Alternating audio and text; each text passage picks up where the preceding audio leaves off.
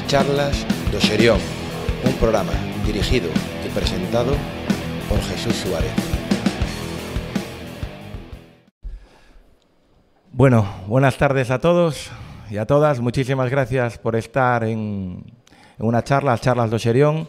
Este es un ciclo de, de, entrevistas, bueno, en la que en la que intento pues pues dar voz o presentar a, al público en general, pues a personas que han cambiado, están cambiando o cambiarán lo que es a Coruña, desde, su parte más personal, su parte más profesional y, y bueno, que han hecho algo para Coruña o que quizá algún día lo, lo harán. Para mí es un honor que estéis todos aquí en esta, en esta charla que para mí es muy importante, a la cual le voy a tener muchísimo cariño de llevar a cabo. Muchísimas gracias al, al Cine París por, por acogernos, un lugar emblemático para hacer esta charla con una persona emblemática. Un, lugar que lleva, creo que abierto desde el 1909 y donde hace pocos días se cumplió 125 años de la proyección, de la primera, primera proyección en, en ese Cine París. Agradecer a todo el equipo del cine, a Emilio, a Alfredo, por, por dejarnos pues, estas instalaciones para, pues bien, para, para presentaros a alguien que realmente eh, no, tiene ni, no, no puede ser presentado porque es una persona conocida absolutamente por todos. Un visionario incansable, una persona que cambió el mundo del fútbol, lo que a día de hoy se conoce como fútbol moderno, una persona que nos hizo soñar, una persona que nos demostró que todo es posible y que nos demostró que los sueños son realidad, creando ese sueño que todos conocemos como el Superdeport. Ese sueño se convirtió en una realidad inspiradora, inspiradora para muchísimas personas, para muchísimas entidades, que nos, nos demostró que somos capaces de luchar contra cualquiera, mucho más allá de lo que podemos ser. Todo este legado trasciende más allá del mundo del fútbol, trasciende a la parte social, a la parte del tejido económico de una ciudad. Es algo más, más que fútbol. Y lo que nos demostró y lo que nos enseñó es que los límites, los límites de esos sueños solo están en la negativa de que las personas no queremos soñar en grande. Con ustedes, señoras y señores, don Augusto César Lendoiro.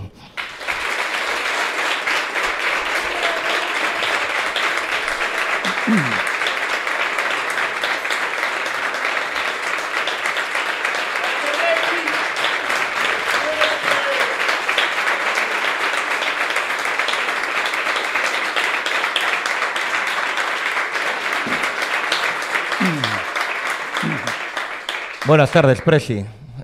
Ya ves. Muy, muy buenas, ¿no? Muy buenas, nunca mejor dicho. ¿eh? Buen día. ¿Qué tal muy, estás? Muy, muy buena gente en la que estamos reunidos. Y ojalá, ojalá siga este fin de semana también los éxitos, ¿no? Jo, ¿a qué pensaba yo, no? Te llaman Presi, ¿no? Es como llamar papá y mamá, ¿no? Es un nombre cariñoso, es un nombre del cual tienes que estar orgulloso, ¿no? A cualquiera le llaman Presi, menos en el deportivo, en la actualidad. Y es como papá y mamá, ¿no? Estarás contento, ¿no? Sí, la verdad es que el cariño de la gente es extraordinario. Lo notas sobre todo los días de partido, pero los días también que no son de partido por la calle. Es, es, incansable la, el cariño de la gente, de cómo te lo hace llegar con normalidad, ¿no? Es decir, como siempre nos ha gustado ser en, tanto en Coruña como, como en realidad en el propio deportivo, ¿no? Yo siempre decía que, que el deportivo y, y, de ahí un poco la ilusión de todos que era, era, era ver a la Coruña compitiendo, ¿no? Es decir, esa era la, la ilusión que teníamos todos, la Coruña compitiendo y la Coruña ganando. Pero está muy bien lo de competir, efectivamente el varón tenía mucha razón, según dicen y tal, pero en esta vida hay que ganar, o hay que intentar ganar, y hay que intentar ganar deportivamente, ¿no? Y, y yo creo que, que eso conseguimos transmitirlo a la gente, que no es fácil en Galicia muchas veces transmitir esa idea de que los gallegos podemos ser ni más ni menos que los demás. Que si los demás lo pueden conseguir, nosotros también lo podemos conseguir. Y el Deportivo lo consiguió. ¿Pudo alcanzar un poco más? Pues puede ser.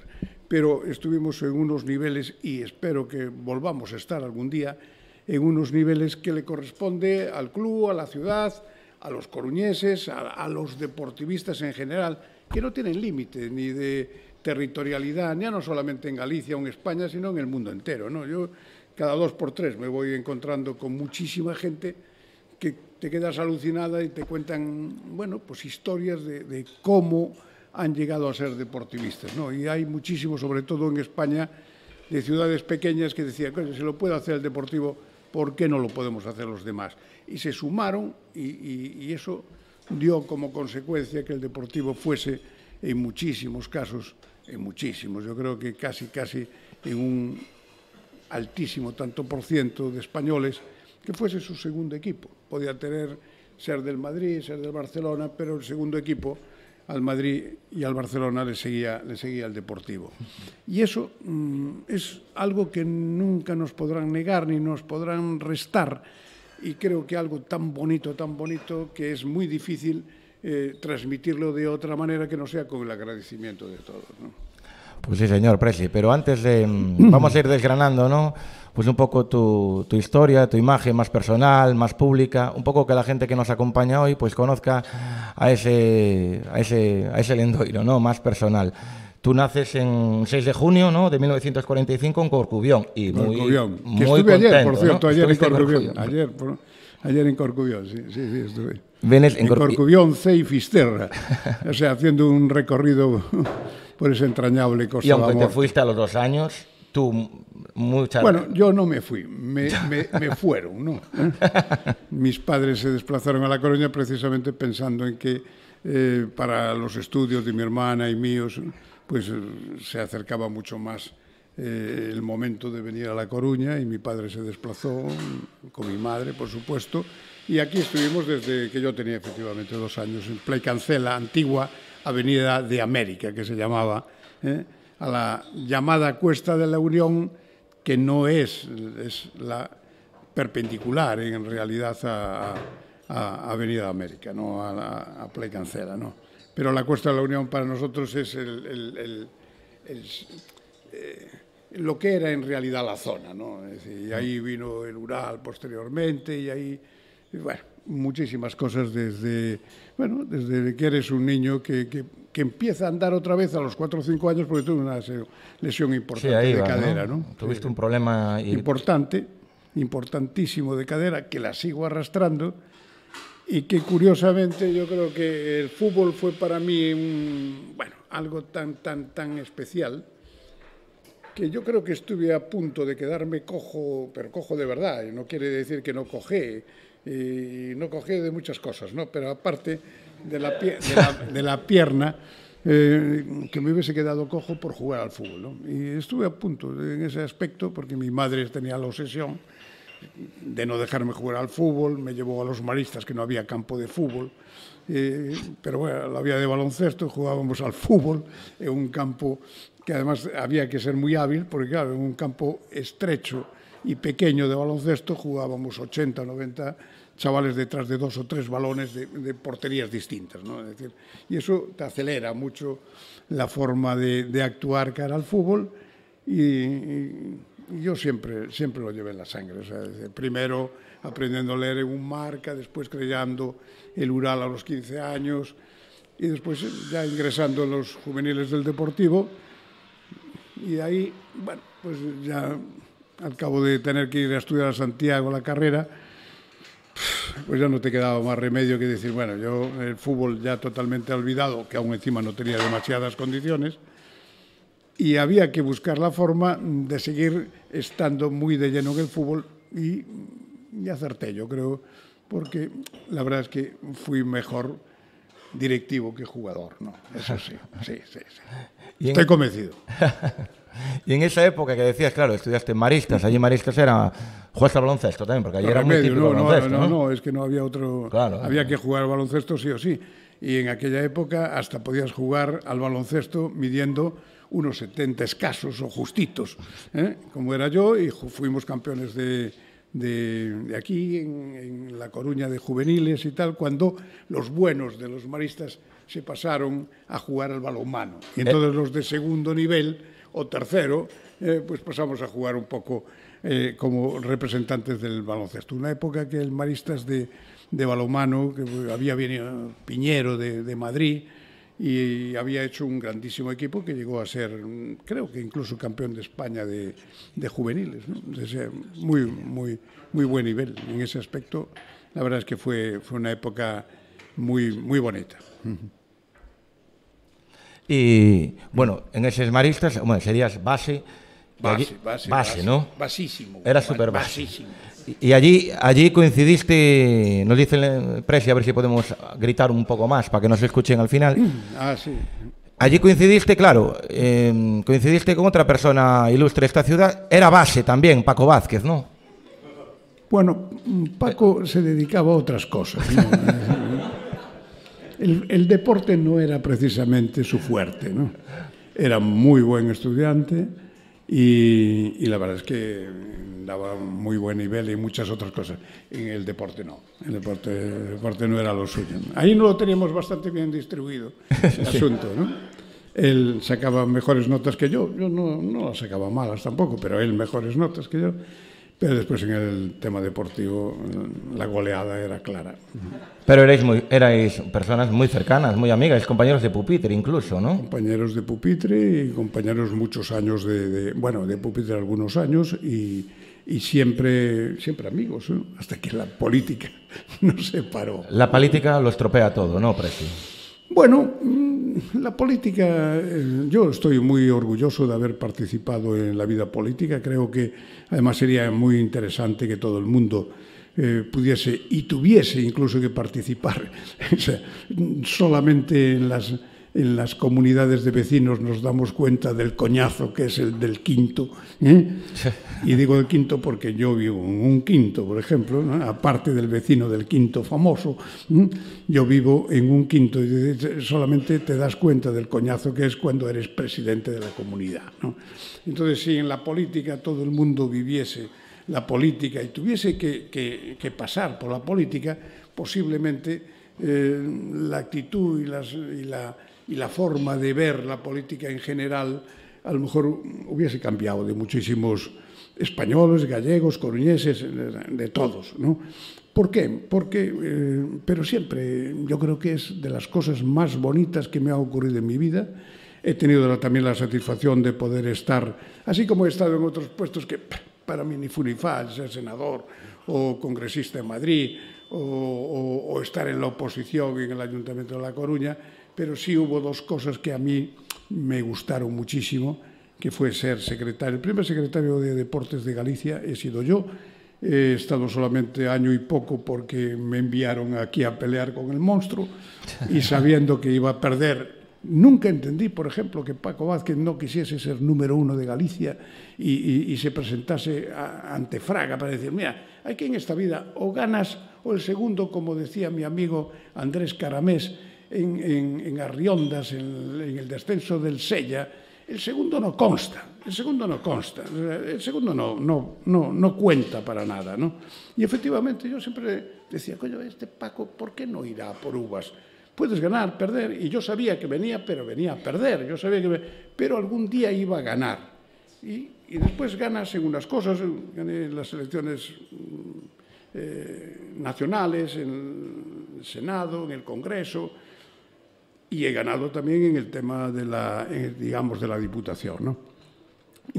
Pero sobre todo hay que competir, hay que... mm, Yo a mí eso de decir jugar cuando sabes que, que vas a ganar fijo, la verdad es que no me, no me atrae lo más mínimo.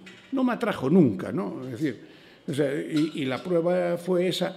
Y, y en momentos determinados con algunos entrenadores incluso he tenido algunos choques sobre ese particular, no choque frontal, sino decir, hay que ganar, hay que intentar ganar, hay que ilusionar a la gente. Después ganamos, bien. Perdemos, no pasa nada. Nosotros no estamos obligados a ganar, pero sí estamos obligados a competir y a ilusionar a la gente que podemos ganar. No, no contándoles batallas, ¿no? sino en momentos que el Deportivo, por ejemplo, pues tenía equipo para competir, como después lo demostramos en la liga que ganamos, la otra que perdimos de, de- de penalti no fue la palabra exacta, que a lo mejor lo perdimos antes del penalti, ¿no? Pero me refiero que, que, damos esa, esa impresión de que, de que pudimos ganar más cosas. y que podemos ganar. Entonces, esa ilusión de la ciudad hay que transmitirla. ¿no? Por, por, ejemplo, eh, todo el mundo no pensaba en absoluto que pudiésemos ganar el centenariazo, pero ha sido una victoria que quedará no para La Coruña, para Galicia, para España, sino que será una noticia mundial del fútbol a todos los niveles, porque se la ganas al Madrid, si se las ganas al, incluso a un Valencia, que cuidado en qué niveles nos movemos también, pues es otro nivel, pero si se la ganas al Madrid, la cosa adquiere una dimensión internacional, mundial, porque se la ganas al mejor equipo, considerado el mejor equipo del mundo en el siglo XX, no sé qué. Bueno, sea, cuidado, que ya estamos hablando de palabras mayores. Ese es el concepto que yo creo que en muchas ocasiones a los gallegos nos, nos ha faltado para dar ese paso y decir, no, no, nosotros somos tanto más que los demás. No vamos a decir más, pero tampoco menos. Vamos a ser ah, tanto. Ahí estamos. Y y una pregunta que te quería hacer, que tenía que ver un poco ahí con, con la política, y mezclando la política y el fútbol. ¿Tú crees que el lendoiro político... Mucho más difícil el fútbol. No, pero va mezclado, va mezclado, va mezclado, por eso. No, no, ¿Tú crees difícil. que el lendoiro político eh, no ayudó mucho al lendoiro presidente del Deportivo?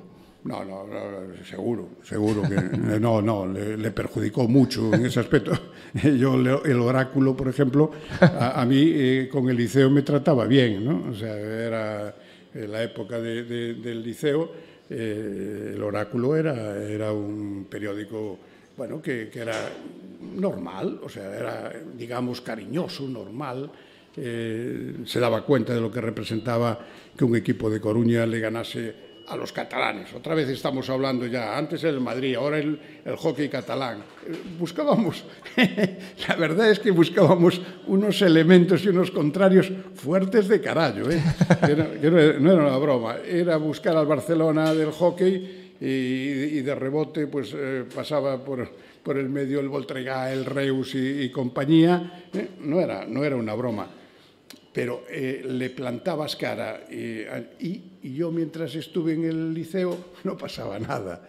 Y, cuando, y si hubiese ido directamente del liceo al deportivo, tampoco hubiese pasado nada con el oráculo. Ahí se arma el lío con el oráculo cuando, efectivamente, eh, la política llega un año antes de adquirir yo eh, la posibilidad de ser presidente del deportivo. ¿no? Y entonces ahí es donde se arma el lío y ya desde ese momento, estamos hablando del año 88, yo entro en política en el 87 y estoy hasta el 99 que me echan.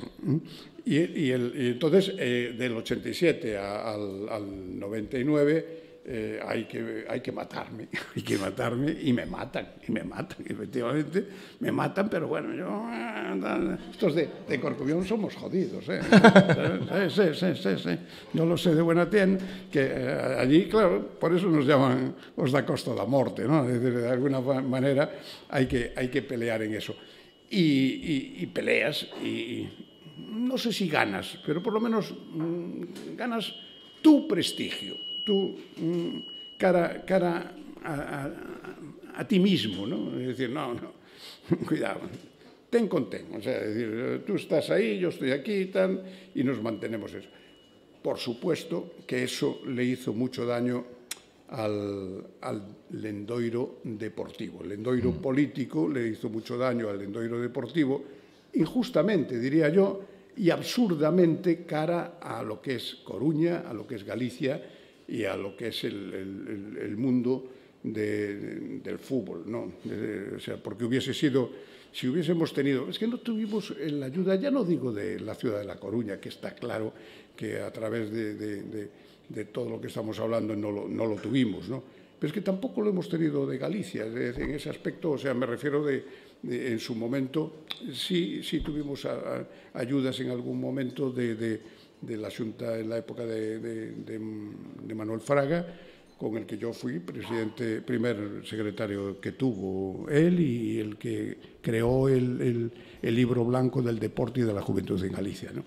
Pero mm, había o muchos celos o muchas envidias o muchos no sé lo que, pero hicimos la mitad de la mitad de la mitad de la mitad de lo que se le pudo sacar al deportivo por lo que el deportivo representaba en aquel momento cuatro duros hubiese lanzado, la ciudad de La Coruña hubiese lanzado, Galicia hubiese lanzado, el Sacobeo hubiese lanzado, todo porque el, el, fútbol es, estamos viendo ahora, ¿no? con el caso de Vinicius y tal, el fútbol es, es, único, es diferente. Por mucho que quieran hablar de los demás, no sé qué, no, mire, el fútbol es otra guerra, es, es muy complicado, muy difícil. Eh, por eso decía yo que, que mucho más complicado incluso que la política, que ya es de por sí muy complicada la política, pero en el fútbol siempre decimos que hay que jugar, o sea, hay que ir al palco, a ver quién se imagina a un presidente de gobierno, y no solamente el actual, que tuviese que ir cada cuatro días al palco ¿eh? del Bernabéu, del Nou Camp o de Riazor. ¿eh? Cuatro, o sea, que cada cuatro días tuviese selecciones allí. ¿no? ¿Eh? Hay que estar allí. Y la prueba la tenemos ahora en situaciones que se están generando y que dices, no puede ser, no sé, el caso, por ejemplo, que le está ocurriendo al presidente del Celta Mourinho, ¿no?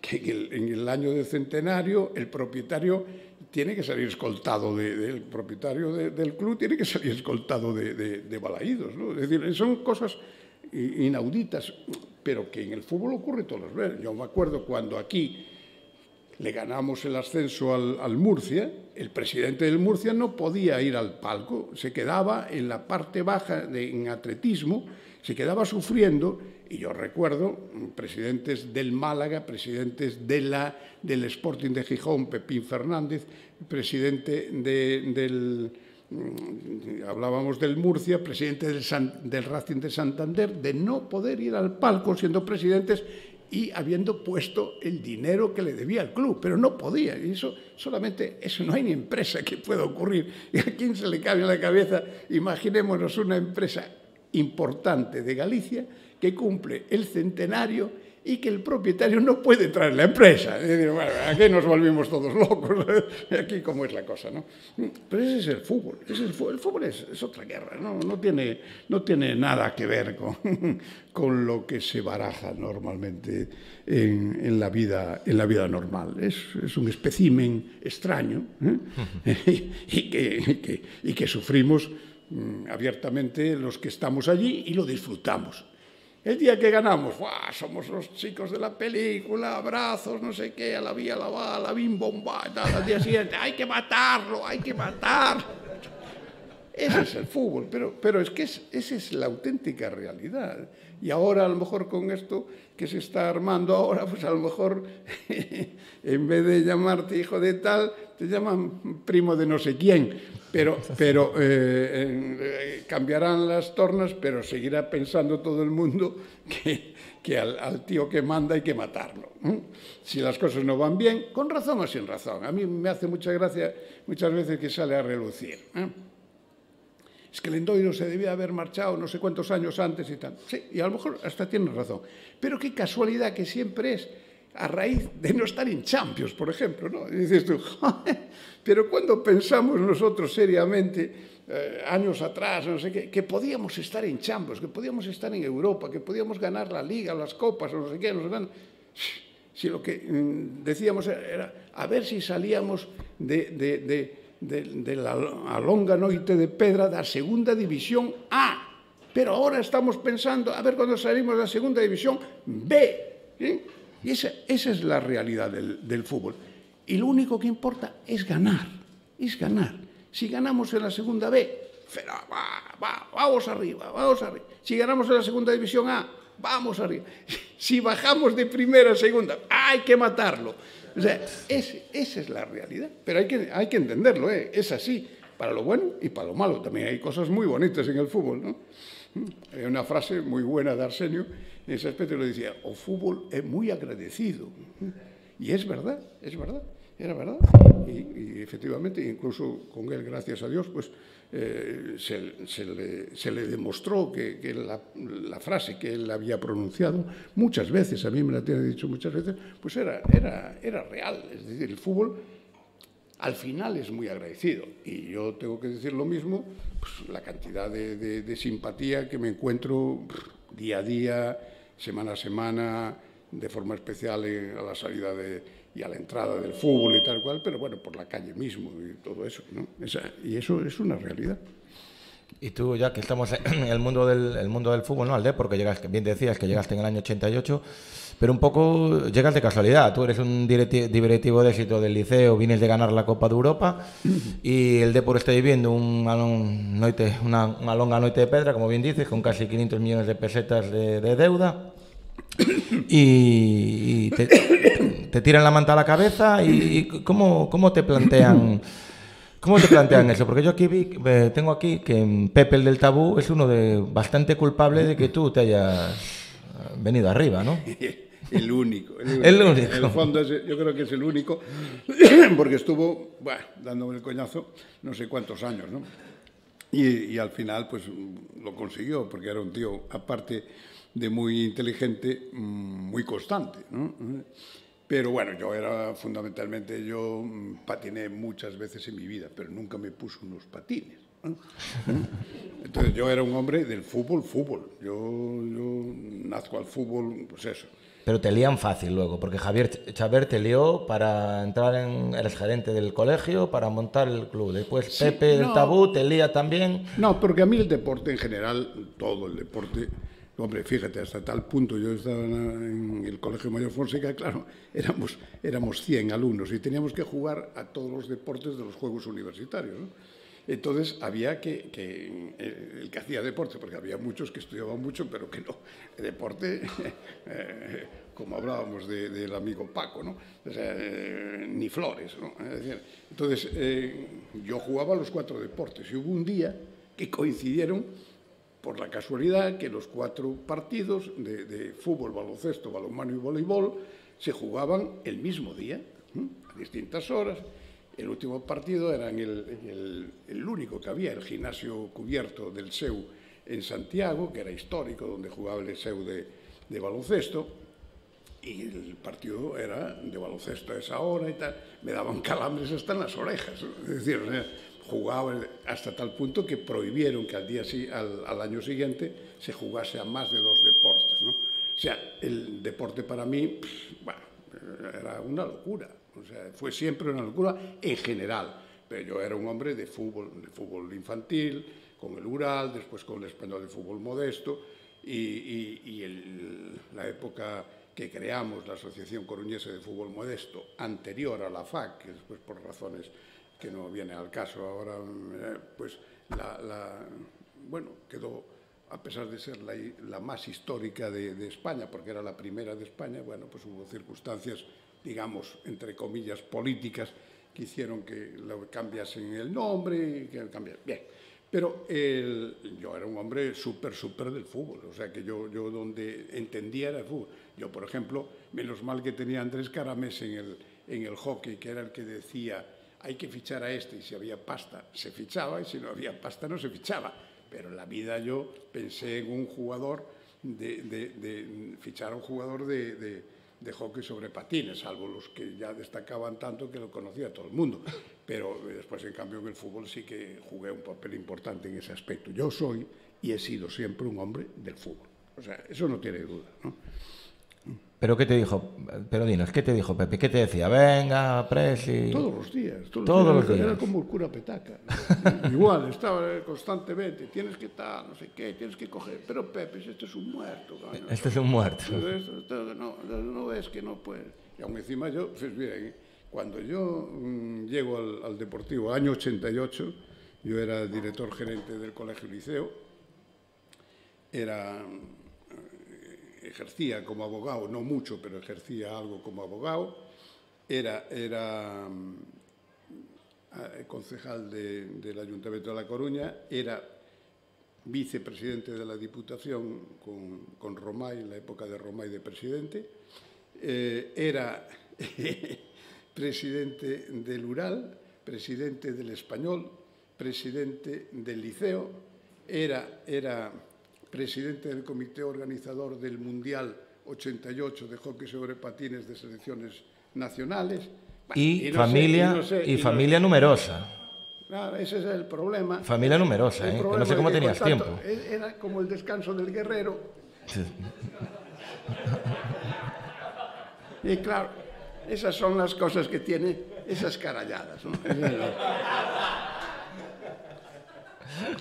Y bueno, llegas, llegas al Depor que tenía un problema importante de que nadie asistía. No, qué va, No, no, pero no, No, no había digo- ni camisetas. No digo del y cuando digo eso, hombre, lo acabamos de comentar porque tú Sí. eh, tienes la camiseta, me decías que llevaba Llevaba- el- este José Ramón, José Ramón, sí, el sí, primer- del año 88, En sí. el año 88. Pero no eran las camisetas que venían de atrás, o sea, esta 88-89. Las camisetas del año 88 eran de Rafrey y no había para todos, no había para todos. Y cuando digo esto, eh, va a misa, es decir, no es, esta es la realidad. Rafrey eran las camisetas que llevaba Hotel Rías Altas Sí. famoso eh, tal, que son con las que el Deportivo se salva con el famoso gol de Vicente en el noventa y tantos y tal. ¿no? O sea, esa, esa era la realidad. Y decías, casi cin- 500 millones, no, casi 600. Casi 600. Casi 600, pero 600 de aquellos que había que poner al día siguiente, si te los exigían, había que ponerlos encima de la mesa. O sea, era una locura la, eh, en aquel momento la, la situación de... Yo recuerdo, por ejemplo, el material del Ural y del Español eran mejores que el, el mejor que el del Deportivo, pero sin ninguna duda. Tuvimos que comprar las camisetas, las camisetas de, esa época las tuvimos que comprar, porque no, no, no había quien nos, quien nos diese eh, el material a cambio, ¿no? O sea que ese, ese fue un momento muy, muy difícil, pero efectivamente una situación que- que también es cierto que no era novedosa, es decir, porque la gente cuando llega a un sitio, cuando llegas a un sitio es para pagar, para pagar, y si no, no vayas. Pero eso es, es constante, es decir, no, es que tal, es que, ay, que, tenía una situación económica, tal. ¿Y qué te creías? A ver, a ver si te iban a dejar, coño, tal. No, no, te deja precisamente eh, una situación en ese, en ese aspecto que, que- que es difícil, es difícil efectivamente fue una, una gran ilusión. Hombre, hasta tal punto de que el eslogan de campaña era Camino revienta, es decir, o sea, Sí, famoso ahí, de- ahí te iba a de preguntar, Lute, ¿a quién se le eh, ocurrió eso? ¿De dónde? pues no, va a ser- no, no sé, era, yo creo que, no sé si se le ocurrió a alguien en concreto, pero era, en aquel momento estaba de moda la, la, La serie. la- no, La la película. serie, la película, La ¿no? película, de, sí, de. Lute, ¿no? ¿no? Y ahí efectivamente fue, fue, fue una cosa llamativa en aquel, en aquel momento y fue muy, muy interesante y, y la gente respondió. Éramos 5.000 socios, ¿eh? por eso cuando ahora se habla, estamos hablando de 5.000 socios, hablamos, estamos hablando de que te salvas deportivamente en ya pasado el tiempo reglamentario del partido y económicamente tienes menos 600 millones de pesetas de aquellos que no son de hoy, son de aquellos. ¿no? Y- y- Era muy, muy, muy, muy complicado. Era una locura, pero que al final dices, porque como era una, pues fue como una especie de, de petición popular, pues no te quedó. Podías decir que no, efectivamente podías decir que no. Pero entre que a ti te gustaba, porque eras hombre de fútbol, creías que podías hacer grandes cosas en ese aspecto y tal, cual, me acuerdo de, me parece que era con, con Vigil, el, hijo de, los de la farmacia Vigil, que también era de los que iban al, al- tabú, yo de firmarle la cosa, una vez que salimos, es decir, en tres años jugamos Copa de Europa. O sea, Copa de Europa no la Copa de Campeones, sino estamos en Europa, ¿no? Pero eh, es una cosa porque estabas convencido, o sea, ya- si te metías, eh, o sea, decir, "Va, va, va, aquí, y estuvimos a punto de hacerlo el primer año, también un poco de casualidad por el tema famoso de que no fue así por el robo de Valladolid con Soriano Ladrén, ¿no? ¿Tú, tú te veías ya en Europa ese año? ¿Te, te viste en algún momento? que estaba, estaba hecho, o sea, de hecho, porque el Madrid era campeón de liga y el subcampeón iba, iba directamente a la Copa de, a la Recopa, iba, iba a la, Y a te la viste Recopa ahí. de, de- de- de Europa que después desapareció. ¿eh? Y además que era, era la- esa sí que era la competición más, más facilona que, que- que existía. ¿no? Ahí llegamos a las semifinales después, más adelante y tal, y la verdad fue una pena porque debíamos de- ahí sí que teníamos equipo para ser campeones y, perdimos eh, aquí con el Paris Saint Germain y allá también. Y, el- yo creo que esa era la... Ahora me hace gracia cuando se dice, no, eh, el, Sevilla es campeón de no sé qué. No, no. La Europa League no tiene absolutamente nada que ver con la Copa de la UEFA. La Copa de la UEFA era tan difícil o más que ganar la Copa de Europa de Campeones. Eso, eso era, era la realidad, porque iban el segundo, el tercero, el cuarto y el quinto de todas las, las, las, las grandes ligas, iban a jugar esa competición. O sea, por lo tanto, era dificilísimo, pero mm, verdaderamente difícil ganar esa, esa competición y efectivamente mm, nosotros mm, tuvimos ocasiones para podernos ir metiendo en el asunto, pero nunca se nos dio bien esa competición porque, entre otras cosas, es muy difícil y perdimos eh, la eliminatoria aquella que yo, aún eso y el día que aún no me recuperé, eh, cuando perdimos en, en Dortmund con el Borussia. O sea, esa es una eliminatoria. Yo sufrí más en ese partido que cuando el famoso penalti de Yuki. Yo, ese partido es que me pareció tan injusto, la eliminatoria en, en sí. Primero aquí, que ya debimos de ganar por más goles, y después allí, que lo tuvimos a huevo también, y que fallamos muchos goles. El bueno de Julio Salinas ese día no estuvo muy inspirado. y ese, esos inicios del Depor, que, que para muchos ya queda, eh, queda 35 años, se cumplieron el otro día del gol de Vicente, eh, me imagino que llegaste al club con un problema de pagar, de impagos a jugadores. ¿Cómo fuiste capaz de gestionar eh, esos impagos y que, porque realmente tenía que ser duro, o sea, para, para ellos y para es seguir lo que hablamos, compitiendo. es lo que hablamos. Eso, eso, eso a nadie, a nadie, a nadie con un sentido común normal le tiene que extrañar. Vienes aquí porque hay que pagar. Si no, se quedan los que están, normalmente. Pero Es- ¿quién, es- quién ponía, quién, quién te ayudó? ¿Quién fue de las personas? No, eh, no, no, allí no te ayudaba nadie. Así Nadie. En números, no, en números me refiero gordos, no te ayudaba nadie. El sistema que había en aquel momento, claro, todo ha cambiado tanto. En aquel momento existían lo que eran los sueldos de, de, de- de- de solteros y de casados. Entonces, al, al mes tú le pagabas a- al soltero una cantidad, por ejemplo, 100.000 pesetas, y al casado le, pasaba, le pagabas 130 o 140 mil pesetas. ¿no? Eh, Entonces, eh, pagabas, pagabas, pagabas, eh, y normalmente más o menos los sueldos, los salarios se iban pagando mensuales. ¿no? Pero después llegaba el momento de la verdad que era pagar la ficha, de, la- lo que era la ficha, ¿no? la ficha anual. ¿no? Ficha anual que ya era a lo mejor pues no sé, 6 millones, 4, 3, 5 millones. y eso no habían pagado absolutamente nada. ¿no?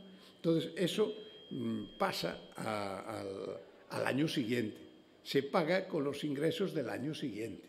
Con letras le pagabas, bueno, ahí, septiembre, octubre, noviembre y diciembre, por ejemplo, eh, terminas cobrando esa cantidad que te deben del año anterior, pero claro, te quedas sin ingresos de la temporada. ¿eh? Y poco a poco había que ir recuperando, pero ese era el sistema. Eh, el sistema que venía heredado era, se pagaba lo mensual y en el verano le dabas que ellos las, entregaban en el banco y le daban en el banco eh, las cantidades que, que, se, le debían. Pero mm, tú las pagabas con cargo al presupuesto del año siguiente. ¿no? Ese era el sistema que se utilizaba en, en general cuando las cosas se, se, se necesitaban. Y, y llegas y el primer año ya pues, no, no eres del mundo del fútbol, aunque eras el fútbol, pero no estabas en ese mundo metido. Y el, el- el primer año te traes a Martín Lasarte, que viene de ganar la Libertadores con el Nacional de Montevideo. Ese, no entiendo ese fichaje, ¿dónde sale? ¿Dónde lo sacas? Para que venga un equipo que se acaba de salvar de, de la muerte casi, y después los traes a Ranney, cedido del, del Oporto. Me imagino que esto eran tus enlaces y sinergias. Tus enlaces y sinergias con, con el hockey sobre patines. Cuéntanos sobre esos dos fichajes. Con no, Pinto no, da Costa. Con Pinto da Costa, claro. Pinto Sí. da Costa eh, es un muy, muy, muy buen, muy buen, hombre, no es que sea un buen amigo mío, pero nos llevábamos muy bien y con nuestras peleas en el hockey sobre patines y entonces pedimos el, el que mm, pudiese venir aquí cedido Rauney, sí, sí, y, y viene, viene aquí y, y hace una muy buena temporada, dos, dos años está aquí Rauney y es de un muy buen nivel para el, el actual, en aquel momento el nivel actual que tenía el Deportivo. ¿no? ¿Y Lasarte? Lasarte viene, pues, eh, hombre, en el fútbol uruguayo siempre con el Deportivo siempre hubo buena relación y en ese, en ese sentido no, no hubo tantas diferencias porque no era fácil el, el traer a, a Lasarte, pero al mismo tiempo mmm, tampoco era en ese momento un jugador súper cotizado, ¿no? es decir, que era un buen jugador y, y sobre todo en aquella época que se le permitía a los defensas pasar el balón al portero porque después venía el momento ya que si no le pasa, si cuando ya no se le pasaba el balón, no se le podía pasar el balón al portero, eh, Martín tenía más dificultades. ¿no? Sí, sí, sí. Y mm, para, bueno, para mí, claro, ve- vemos del 88, de casi descender, primer año, primer año ya, mm, ya jugamos en la semifinal de la Copa del Rey. Claro, llegas ahí como novato. ¿Cómo era tu relación con, con- cómo fue tu relación con los veteranos, con Cayetano, Eh, muy Flaco bueno, Gil, muy bueno. Jorge? Era, era, era un equipo, era un equipo muy, muy humilde, muy, muy, muy serio en su trabajo, pero muy humilde, ¿no? En, el- en ese, en ese sentido. Y la prueba es que en el primer año nosotros quedamos más o menos en la mitad de la tabla, ¿no? En segunda división, ¿no? No habíamos pasado los apuros del año anterior ya, ya la cosa se encarrilaba bien y, en el aspecto deportivo, claro, el estar a punto de ganar la, la primera, de estar a punto de jugar la primera final de, de tu historia, que ya había sido la primera semifinal, digamos, seria, porque después aparecen esas semifinales de los años, no sé, si 6, 8, 7, 10, eh, 1908, 10 o no sé qué, no sé qué, y dices, bueno, no, no, 12, no, no, esa es, esa es la... Ah, pensé que decías esa la es Copa. Sí, la, la Copa, Copa. no, no, no. Yo hablo que, porque me acuerdo de, de, de un, de uno que escribía en el oráculo que se llamaba Fernández, Fernández, Santa, eh, Fernández Santander, no sé qué, Santander. Eh, E. punto Santander. Que decía que en el año, no sé, 6, 8, 10, no sé qué, habíamos jugado una semifinal, porque eso, me parece que había cuatro, y jugaron dos contra dos, y entonces habíamos jugado una semifinal. Una cosa parecida a lo de la final, esta última, eh, tal, que sé qué, que, que teníamos el trofeo en casa, pero que no se le daba eh, un valor especial a, la- a las cosas, ¿no? Pero bueno, bien, oye, todo lo que sea sumar, bien, bienvenido sea, ¿no? Y hay otro fichaje que, bueno, ahora está muy de moda, el tema del Zamora, y nosotros tenemos a Zamora con el récord, ¿no? Liaño estaba a punto de colgar las botas porque nadie... No, estaba, estaba, ya, estaba. ya- ya estaba ¿Cómo surge la opción de, de Paco Liaño de, de traerlo al Depor? No, porque como él se, nos enteramos que se retira, él, se, él era aficionado, no era jugador profesional del Sestao, creo recordar. Del Sestao de Leiva, era del Sestao, del Sestao. ¿eh? Entonces se va para Santander porque es que no era profesional, entonces le, pagaban tan poco que no le compensaba el estar mm, a caballo de, de Santander y de, y de Sestao para, para jugar al fútbol por cuatro duros. ¿no? Entonces se iba a retirar y, lo, fichamos nosotros y curiosamente, como somos un club señor y tal, pagamos un traspaso que no debimos de pagar en la vida, claro, pero pagamos un traspaso, sí. Era, era la época, se iniciaba en- ya un poco antes o en esa época, la época de, de- que a mí me llamaban el Endacari porque era el presidente de todos los vascos. ¿no? Sí, sí. Y, era, y, era, y era verdad, era verdad. Y, y curiosamente, eh, ayer o antes de ayer me llama Miguel Santos, el, el- el representante Sí. de, de casi todos ellos, ¿eh? Y dice, "Coño, voy a La Coruña porque es el, el- el propietario del Guipúzcoa Basket. Y viene a jugar Ah, contra... están jugando ahora mismo. Contra... Ahora. Ahora mismo, a las 7 de la tarde, No, pero bueno, él, viene al partido que se juega el domingo a las 6. Se, juega hoy y el domingo. Ves, ves, ves, ves. La, la policía nunca falla. Se juega hoy el... Sí. Se Y, juega hoy y- el domingo. y- me decía, me decía eso, y viene precisamente, y este era el que, porque yo sí tenía la idea clara, y sigo teniéndola, de que si eliges bien para salir de estas competiciones de segunda B y segunda, los jugadores vascos son fenomenales. A partir de ahí ya, ya la cosa cambia, ¿no? Ya la cosa cambia pero para ascender de, de- de segunda B a segunda o de segunda a primera, los jugadores vascos te dan un rendimiento brutal. ¿no? Y, y, claro, es, una de ellas traemos a Peyuralde, que es un hombre clave en el ascenso después del Deportivo. ¿no? Claro, llega ese ascenso, eh, que bueno, supone un tremendo, ¿no? Para, para la ciudad, para el club, para, para todos. Además, imagínate... Yo creo que fue una, una fiesta comparable con cualquiera de las otras del ascenso. O sea, ese ascenso del 91 se puede comparar perfectamente con, con el centenariazo, se puede comparar con la liga, se puede comparar, yo creo que se puede comparar en los niveles de, celebración que tenía la ciudad, que claro, llevaba 20 años sin, estar en casi 20 años sin estar en primera división el equipo, ¿no?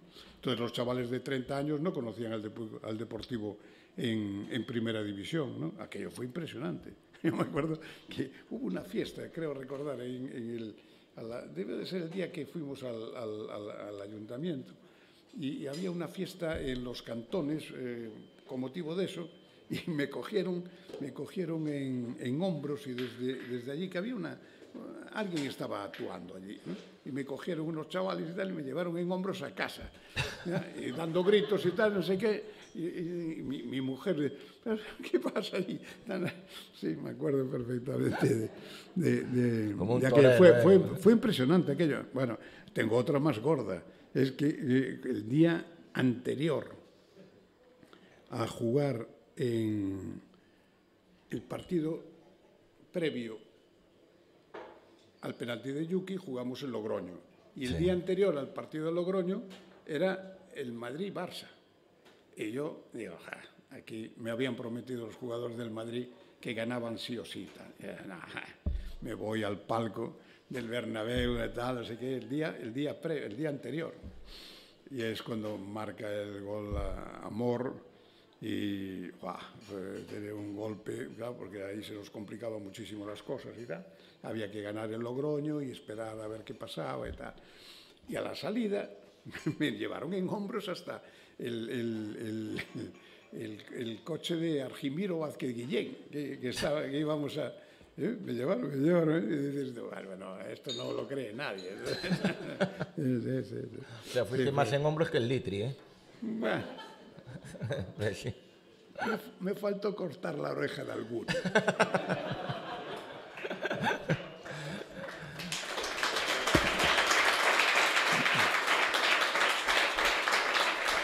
Y bueno, llega, llega otro momento importante, ¿no? Que es el año 92, en el que, que el Depor se convierte en sociedad anónima.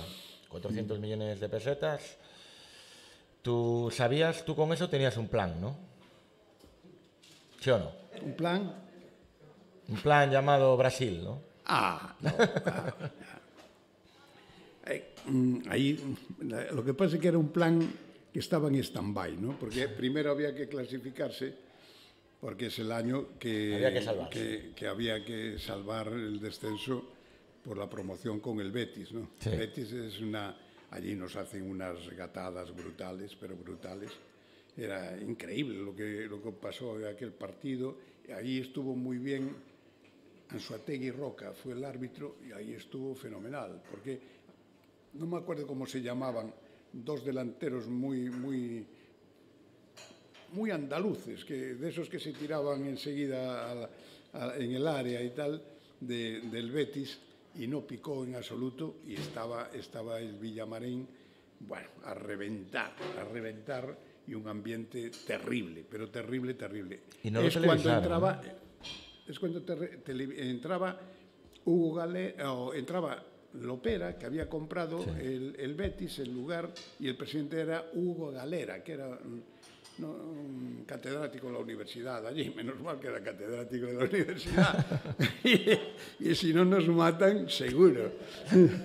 Fue impresionante aquello. Quizá fue uno de los partidos así... mm, Sí, sí, sí. ¿Sí? Sí, sí, fue uno de los Una partidos. tensión- Eh, Es que, es que era un partido mm, que, que, claro, que se- nos jugábamos todo. Nos jugábamos, por ejemplo, Mauro mm, dependía de que estuviésemos en primera para, para venir, y ya no digamos Bebeto, que, no, que en aquel momento incluso era terriblemente difícil que pudiese venir a jugar al, al Deportivo. Ya estando en segunda, ninguno de los dos hubiese podido venir. Y, a raíz de eso fue cuando se abre la... y hacemos la inversión. Esos 400 millones de pesetas más o menos que, que recaudamos como, como sociedad anónima los invertimos en el traspaso de los dos. Y ahí, ahí es el acierto de, de que nos lo jugamos todo, como quien dice, no a una, sino a dos cartas, y nos salieron bien. ¿no? Sí, Y- sí, sí, fue, fue. ¿Y, y- y quién abre ese mercado brasileño para, para el Depor? Porque ahora no había mucho scouting, eh, No, Big el- Data. el- el- sí, no, en, en ese, en ese tema el que nos ayuda, eh, porque yo tenía mucha, mucha relación por teléfono y tal, con Lito Míguez, con Lito Míguez, y entonces él nos iba diciendo quiénes eran los jugadores que estaban allí, o sea, que aparecían en todos los sitios como los mejores de la liga, en los puestos, no sé qué, no sé cuánto, tal, tal. Entonces nosotros también seguíamos de alguna manera, hombre, por ejemplo a Bebeto sí que ya lo conocíamos, pero por ejemplo el caso de Mauro, hay un momento que hay de la duda de si traemos a Mauro o a, o a Sampaio, que en aquel momento también, cuidado, estaba en un nivel, después cuando viene aquí ya el hombre viene cascado, pero, pero, pero, pero era, bueno, y, y aún así era buenísimo, ¿no? Pero eran dos estilos distintos, pero dos grandísimos jugadores, ¿no? Y, y- entonces el que nos, nos, nos informa de cómo están las cosas por allí, hace gestiones, eh, tal, trata de, de ir avanzando en ese sentido, es, es, es Lito Víguez. ¿sí? El Lito Míguez, y claro. Eh, Lito Míguez, ¿no? Se, se va de Brasil dando por muerto el fichaje de Bebeto, ¿no? Le deja... Ah, cuando llegamos nosotros, eh, nos recibe, nos recibe allí, él se viene de vacaciones ese mismo día, se viene de vacaciones para, para España, se viene de vacaciones para España con, con, con los hijos o un hijo que tenía en aquel momento, no sé si con uno o con dos, y, y se viene ya de vacaciones y nos recibe muy bien, está, comemos con el presidente del Vasco de Gama que nos dice que no hay nada que hacer. Y ya se viene, por la noche se viene Lito para aquí. Yo me quedo allí con Luisín Sánchez de Porto, peleando como pff, Pero cada me- centímetro cuadrado y poniendo un poco el cazo también. O sea, decir, eh, Pero la dicen- única vez que pusimos el cazo, digamos, indebidamente, es decir, no, no, no una comisión oficial, vamos a decir. sí, sí, sí, sí. Pero, pero dicen que Lito Míguez le dejó un papelito, ¿no? A, a- a Bebeto en el coche que le puso, no pases mucho frío en Alemania, ¿no? No, eso se lo dije. Bueno, que yo sepa, no sé si él habrá dicho algo. Bueno, no era, no es nada difícil es decir, es No, decir eh, eso, pero eso se lo, se- yo se lo dije a él y a, y a Denise. eh, pero cómo vais a ir a Alemania, a, a Dortmund, y te quedas bloqueado. y, y curiosamente, después siempre que fue Bebeto a Alemania, nunca pudo jugar en Alemania. Nunca pudo jugar. Le daba siempre el... mm, y quedaba... ¿Os acordáis de aquella película de, de cómo era aquella pe- de, de David Niven, no? que, que era que, que quedaba el tío. ¿eh? Bueno, pues ese, ese- eh, eh, eso mismo le pasaba a Bebeto. A Bebeto cada vez que iba a Alemania quedaba bloqueado. Mm. No, no jugaba, no jugó, no jugó nunca en Alemania, ni contra el Eintracht de Frankfurt, ni me parece que contra el, el Borussia Dortmund. Ninguno de los dos partidos, porque Ninguno de los dos, Se quedaba pajarito. Sí, sí, sí, sí. Se quedaba pajarito. sí, sí. Y, y alguna anécdota que no sea la, de, la del catálogo, ¿eh? Esa ya nos la sabemos todos, ¿eh? ¿Alguna anécdota curiosa? Porque llegáis, es la primera vez que cruzas el charco. Lo del catálogo, eso no, no, No, la de, no la, la sé la- soy yo. la de Bahía, la de, no, pero no, la tuya. Pero ¿es la- ¿Era la primera vez que cruzabas el charco para ir allí a Brasil o ya habías estado allí? No, yo había estado ya con el liceo. Ah, ya habías estado con el eh, liceo. El liceo había ido a, a- a Brasil, Uruguay, Argentina y nos colamos a Iguazú también. O sea, que una, una experiencia, el fichaje. de- el- bueno, el de Mauro estaba prácticamente hecho, ¿no? Con, No, no, lo de Mauro estaba pendiente de... de- Solo de mantener- también, no, mantener. de eso y de la Roma. La Roma que... Estaba detrás de Mauro la Roma. Estaba, era, era con los que inicialmente estaban de acuerdo. A mí me llama la atención que competir contra el Dortmund, contra la Roma, llega ahí el, llega ahí el D, porque no es nadie realmente a nivel europeo en esos momentos, y le, y le vuelan los fichajes. Eso es brutal. Sí, bueno, algo de cazo hubo, ¿eh? Pero, pero fuera, fuera de eso, eh, lo, que sí, lo que sí es cierto es que, bueno, a a Denise eh, le llevamos un collar de sargadelos precioso ¿eh? Y un libro con unas fotos de La Coruña que mandaba caral. ¿eh? Y yo, además con las fotos, como eran del verano, ¿eh? decía, mira, esto, esto, es como Copacabana. ¿eh? Esto es como Copacabana y tal. Y ella, ah, sí. Y claro, hablabas por el otro lado de la nieve en, en, en, Dortmund que les iba a llegar hasta la cabeza. Fotos de trineos, ¿dónde llevasteis trineos, claro, muñecos de nieve? Entonces, ahí, ahí la que decidió, bueno, como casi siempre, fue Denise. y bueno, y, y bueno, es, es un, es, para mí es un momento importantísimo, ¿no? Es un punto de inflexión prácticamente en, el, Hombre, en la evolución. Tú ya tenías en tu cabeza, mira, yo me acuerdo el primer día que estuve contigo, yo te pregunté, eh, Presi, ¿tú cuando cogiste el deporte imaginabas lo que ibas a hacer? Y me, dice, me dijiste, yo soy ganador. Tú en ese momento en el que tienes a Bebeto y a Mauro Silva encima de la mesa ya aquí, ¿te pensabas que algo podía hacer clic y que el deporte podía dar un paso no, no, con los grandes? Estaba seguro. Seguro. No, no, estaba seguro. Cuando, cuando eso se cerró, que no era solamente Mauro Silva y Bebeto, ¿eh? que estaba Aldana, sí, sí, que estaba Claudio, que estaba, que estaba Nando, que estaba eh, bueno, infinidad, infinidad, de ellos, ¿no? O sea, todos, el equipo en general, estaba Fran en, en un gran momento, o sea, eh, un equipazo, era, o sea, teníamos un equipazo y claro, claro que, pensabas que podía ser, y de hecho, es que eh, enseguida, los que no se lo pensaban eran los demás, porque el primer año en los primeros partidos, ya nos metemos en, cabeza de la clasificación y aquí llegan infinidad, pero infinidad de gente de periódicos de Inglaterra, de Alemania, de Italia, de tal, a ver qué pasa ahí, qué, qué ocurrió con, con, este club que de repente es, es, es bueno, es líder en la competición española, pero con, y le gana al Madrid, le gana al Celta, le gana al otro, no sé, eh, hace, hace, poco que, que Mauri mandaba un, un, un, recorte, de, o sea, un vídeo. un vídeo de, de, del partido de, de, Sevilla cuando llega Maradona, que yo estoy al lado de él, bueno, al lado no, no, al lado exactamente, pero con un metro de distancia y él está en el palco. Es el día que llega Maradona a Sevilla. que lo va a esperar con, con dianas y alboradas allí. Es impresionante la llegada de Maradona a Sevilla. Me, me recordaba bienvenido Mr. Marshall. Fue impresionante aquello. No, estuvieron a punto de no venir ninguno a la, a la comida porque querían ir todos a comer con Maradona. Al final nos mandaron unos mindundis a comer con nosotros para hacer bulto y tal.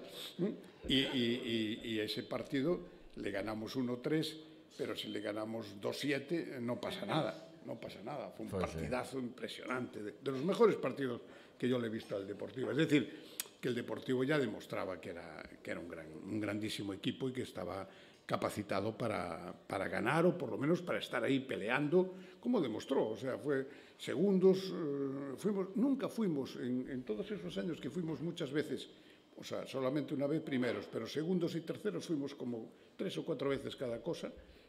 Y, y sin embargo, lo, lo, que sí es cierto es que lo, los, los, lo, nunca fuimos cuartos, por ejemplo, que es curioso, nunca fuimos cuartos, siempre fuimos segundos o terceros. Y, la verdad es que yo creo que debimos de haber ganado algún, algún título más, algún título más. Y en ese momento que contabas antes, que vivía un, un gran momento Fran, te encuentras ahí con un marronazo, ¿no? Que es recomprar a Fran al Madrid y hablarlo con Mendoza, ¿no?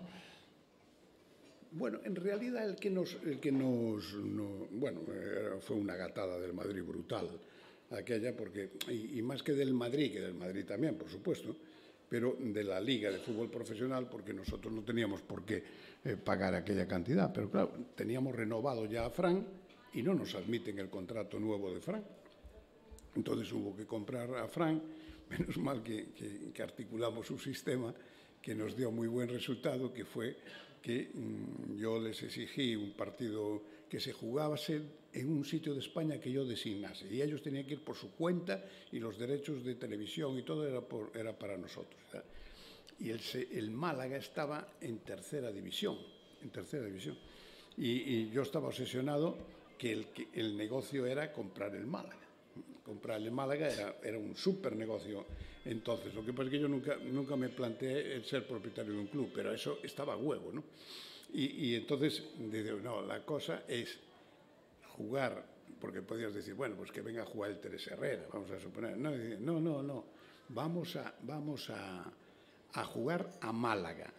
Y batimos el récord de recaudación del Deportivo durante muchísimos años, se batió en Málaga. En Málaga. Sí, y entre lo que conseguimos de televisión, lo que conseguimos de la recaudación del, del, del, del partido de Málaga, pagamos el, el traspaso de, de bueno, la, la, recompra de fan que nunca fue recompra, pero bueno, pero, o sea, que nos salió, nos salió lo comido por lo de, más o menos, más o menos. ¿no? Y, y, en sí, ese, sí, sí, fue, en fue ese, así. En, en ese Ahí, en cambio, ese mismo día, Ay, ay, ay. ahí se, Sí, se sí. produce un hecho. Esa es la que te iba a preguntar. eh, sí, eh, se produce un hecho en el descanso o antes de empezar el partido, en el descanso. No, debe ser antes de empezar el partido. Me pide Yuki que no hagamos público, o sea, que no se firme el contrato de, de, de ampliación de, de, del contrato porque eh, le tiene que pagar el 10% a Zoran Becky, que era el, el, el, representante de él, y terminaba el contrato en enero. Como presidente, ya sabes que conmigo no hay problema. Y tragué. y nunca mejor dicho que lo tragué. Lo tragué enterito, enterito. Y fue eh, eso responsabilidad mía y mala jugada del, del bueno de Yuki, al que yo le aprecio mucho, pero a eso mm, no me gustó nada nada de nada. Porque fue así, fue así. Ahí, te, ahí bueno. Que lo habíamos hecho incluso público los dos, en, aquí, en, delante de la, de la, prensa y tal. Bueno, ya estamos de acuerdo, ya tal.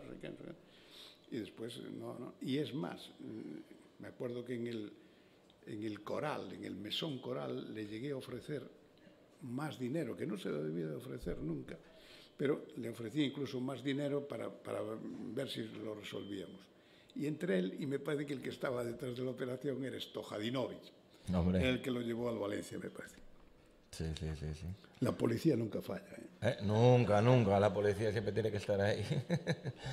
y después, bueno, para mí, bueno, la gran pena fue el, ese penalti de Jukic, que yo recuerdo estaba en general cuando pitaron penalti me senté porque no era capaz de verlo y escuché el silencio en Riazor, porque hubo un silencio que yo nunca recuerdo de escuchar un silencio y decir así, escuchar silencio. Fue, fue triste, pero ese partido tú siempre dices que no jugamos bien, ¿verdad? No, jugamos fatal. Jugamos fatal. No, era ese partido que, que, que dicen, esto no, no, no, ganamos ni de broma y tal. Lo que pasa es que a última hora aparece el penalti y dice, oh, nos vino Dios a ver y ahora vamos a ganar y tal. Y dices, no, ni, a, ni aún así. Bueno, la verdad es que ese día no habíamos merecido nada. Y después, bueno, el destino nos tiene, nos tiene ahí, pues esa final, nuestro primer, nuestra primera copa. ¿Tú cómo viste ese día? ¿Cómo, ¿Cómo fue para ti ese, bueno, ese día, coño, esos dobles días? O esos momentos, eso, joder, es el, el, el culmen de lo que tenías soñado, ¿no? Sí, no, no, era, era, era como yo, las cosas eh, en el deporte además hay que tomarlas como vienen, ¿no? Es decir, o sea, yo, yo siempre ni, ni, ni, me, ni el hecho de ganar algo te significaba que ya, como quien dice, habías conseguido ya eh, lo que no podías conseguir, esos grandes niveles, etc. No, yo nunca fui de eso. Siempre al día siguiente la cosa cambia. Ya ganaste, perdiste, bueno, hay que continuar. O sea, las cosas eso. Y entonces eh, era, era un momento que era, eso sí, era importantísimo el hecho de, de poder eh, darle un, cierre, por ejemplo, a lo que decías, bueno, eh, ya el 94 fue el penalti de Yuki, el 95 no vayamos a perderla. Y tuvimos la suerte de la lluvia, ¿no? Yo creo que la lluvia nos vino a ver. Un día nos vino a ver el incendio de, de, de y se quemó de Riazor y otro día eh, nos, vino, nos vino a ver la, Dios con la lluvia, porque eh, si no nos hubiesen ganado. Si no llega, eh, en ese momento estábamos mmm, muy perdidos, ¿no? Es decir, eh, nos vino bien ese, eh, que se cortase el, partido de, en, esos minutos y yo creo que a partir de ahí sí que ya el, Deportivo yo creo que fue, eh, se preparó ya para que esos minutos, yo creo que se preparó mucho mejor el Deportivo que el, que, que el Valencia y, salimos a ganar y ganamos. O sea, hay milagros en esta vida, ¿cómo puede ser que le gane un balón de cabeza Alfredito Santalena a, a, a Andoni? sí, sí, complicado. ¿Y, ¿Y, alguna anécdota alguna anécdota con el emérito? ¿Tienes alguna de aquel momento? Te felicitó, te dio un abrazo. Sí, no, no, no, sí, sí, sí. sí. Me, me, me, me, guiñó el ojo. Cuando ¿Te guiñó? El primer, el primer gol, con el primer gol me miró y yo estaba a la izquierda de él y me miró eh, y me guiñó el ojo. Eh, y yo dije, ay, qué buen tío este tal. Pero, eh, pero estoy convencido que cuando empató el Valencia le guiñó el ojo a Paco Rayo. Que pasa es que como me cogía en el otro ángulo no puedo asegurar. Pero se lo dije a él y dije, mmm. y creo que sí, creo que sí. Una de las cosas por las que más se te caracteriza Presi es por esos fichajes maratonianos, que no sé si te iba a la marcha o, tal. Y además, dos de los fichajes aquí más maratonianos, por lo que estuve viendo, uno es el de la negociación con las palmas de Rubén Castro y de Momo, y otro es el de, el de Ramis. Es curioso, ¿no? Que no son entiéndeme bien, no son sí, sí, sí. los futbolistas Hombre, top. El de, el, de, el, el, de, Las Palmas no era, no era, no era el tema de Momo y de, y de, ah. y de Rubén Castro, era, era que nos debían 600 millones de, de largos de Schurrer. ¿no? Entonces había que buscar un sistema para que nos devolviesen el dinero. Como no tenían dinero, nos tenían que pagar en jugadores, no, no teníamos otro, otro modo de cobrar, ¿no? Y así fue, así fue. Así fue lo que pagaron, porque me parece que después al final no terminaron pagando lo que tenían que pagar. Pero eh, y terminó la negociación, era, bueno, era un convenio, o sea, era un acuerdo, no era traspaso aquí, no sé qué, no, era un convenio gordo donde entraba en juego la, cantera de los, de, de, Las Palmas, ¿no? La, la, importantísima cantera de Las Palmas. ¿no? Y ahí por eso la cosa se alargó y, y terminamos largas, largas. Bueno, empezamos a las 10 de la noche y terminamos a las 12 de la mañana Uf. del día siguiente. Y a las 10 de la mañana más o menos del día siguiente estuvo a punto de romperse la negociación. Ya estabas a punto de pegarte un tiro, pero bueno, al final se... Al final se pero se intentaron arregló. ganarte por intoxicación, porque por lo que vi llevaron una caja de puros y, y que estaban allí dando cera. ¿eh? la fumaron entera. entera. no, no, era una caja, era un mazo, que llaman ellos, ¿no? Un mazo de, pu de, de puros canarios. ¿eh? y trajeron un, joder, se cortaba con alfanje el, el, el humo. estabas, te veían, te veían, o estabas ahí escondido. Bueno, imagino que me vean, como soy pequeño disimulo. ¿no? Disimulas. Y después, después hay otro momento muy importante que es, eh, creo que es muy importante para, eh, para muchos equipos, fue el momento de las negociaciones de los derechos de igual que fue la sociedad anónima, ¿no? Los derechos de, de televisión con Canal Plus, ¿no? Oh. Ahí tú ya tenías también otro plan, ¿no? Con, con, ese dinero, ¿no? Intentar, además era buen momento para negociar. Ahí, ahí hicimos una gran, una gran negociación porque fue, fue muy importante. Claro, fue, era, tenías que vivir a cuenta de eso, ¿no? Uh -huh. Claro. El, el, a pesar de todo, consiguiendo un, un gran contrato, a lo mejor 20 millones eh, de euros cuando los demás estaban a lo mejor en eh, 10, 12, 14, 8, algunos de los pequeños y tal y cual. Pero claro, ya, ya el Madrid y el Barça estaban a lo mejor en 150, 140 millones. Con lo cual ahora cuando hablan, ahora es mucho más fácil pelear con el Madrid y el Barça, que era en la época nuestra, porque ahora mmm, el tercero, por ejemplo, en discordia, el primero puede estar ganando 170 millones por clasificación. El Deportivo es primero en el año 2000 y si fuera ahora sería 170 millones, por ejemplo. Y el Deportivo en el año 2000 gana 20, pero el Madrid ya ganaba 150. Y ahora el Madrid, si gana el Deportivo como primero, o el Atlético de Madrid como primero 170, el Madrid está en 170, 160, 150 porque el mínimo mmm, que cobra el Madrid y el Barça es lo, que venían cobrando ya con anterioridad a la ley. ¿no? O sea que a ellos les mantienen eso. pero los demás se han acercado mucho, con lo cual ahora es mucho más fácil, dentro de lo difícil que sigue siendo, pero hay una gran ventaja en ese, en ese sentido. ¿no?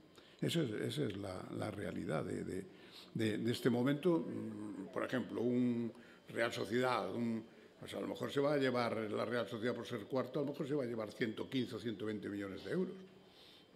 Con lo cual puede competir ya a unos niveles eh, claros con, con, con los demás para estar en, los máximos niveles. Porque al final eh, los jugadores son muy buenos, pero no hay tanta, tanta, tanta diferencia si tú tienes dinero suficiente como para fichar buena gente y tienes buenos ojeadores. ¿no? Pero claro, lo que te decía, yo te veo con esa negociación, sacándole el dinero a Canal Plus, con el cuchillo, afilándole los dientes, los dientes se colmillo ahí, y tenías, ahí estaba ya para traer a Rivaldo, ¿no? Y dar un, el, el Depor volver a dar una vuelta de tuerca, ¿no? Otra vez, no, no, invirtiendo ese una, dinero. Una de las, de las cuestiones de esa, de esa negociación es que, además es curioso, porque el Canal Plus claro, apuesta también por nosotros y nos da 4.000 millones de pesetas ¿eh? en un talón, pero por un simple recibí. O sea, no había contrato, no había contrato. Como mucho, mira, porque después nos ofrecieron, y no, yo no lo acepté, pero nos ofreció Antena 3, nos ofreció más dinero, un cheque en blanco relativo, ¿no? Pero eh, para, para firmar un cheque, un cheque en blanco y que le pudieses pagar a, a, Canal Plus y decir, mira, me quedo con la diferencia, si en vez de 4.000 me dan 5.000, pues me quedé con, con 5.000 en vez de 4.000. ¿no? Y ese, ese, ese, ese dinero, no, la verdad es que no, ni se nos pasó por la cabeza, pero, pero sí que existió esa, esa oferta. ¿no? Y nosotros, mm, en ese momento, la primera decisión es traer a Rivaldo, que era cuando le decía Tosa a, a, a este, al que estuvo mucho tiempo en Brasil viendo a Rivaldo a, y a todo el Palmeiras fue Mano, eh, José Manuel Corral sí. y le decía y le decía Tosa a, a Corral José Manuel José Manuel y este es el de los mil millones este es el de los mil millones y se reía de él porque a Rivaldo al principio le costó le un costó, poquito, le costó, un sí. poquito, pero poco tiempo, pero fue, al año siguiente eh, fueron 4.000. Y, y, había una duda, ¿no? Entre fichar a Rivaldo o a Giovanni, ¿no? No, no, no, no, no pero no, estuvo él, ahí. No, el Barça presumía mm. de, de, que el bueno era Giovanni. Mm. Y, y, nosotros decíamos, no, no, el bueno es el que fichamos nosotros. Giovanni no. Después, cuando se fue Rivaldo, nos querían colar a, a, en, el, en, el, trueque, nos querían colar a, en vez de pagar eh, la cláusula, nos querían colar a, a Giovanni. Estáis de coña. Estáis... Sí, sí, sí, sí. Al, que, al, que, le costó adaptarse fue a Renaldo, ¿no? A Renaldo. Renaldo el pobre pasó a la historia como porque, por una mala frase, ¿no? Hombre, fue muy mala, ¿no, Presi? Fue muy mala, ¿no? Yo, creo, yo no sé si le interpretaron bien o si él se expresó bien, ¿no?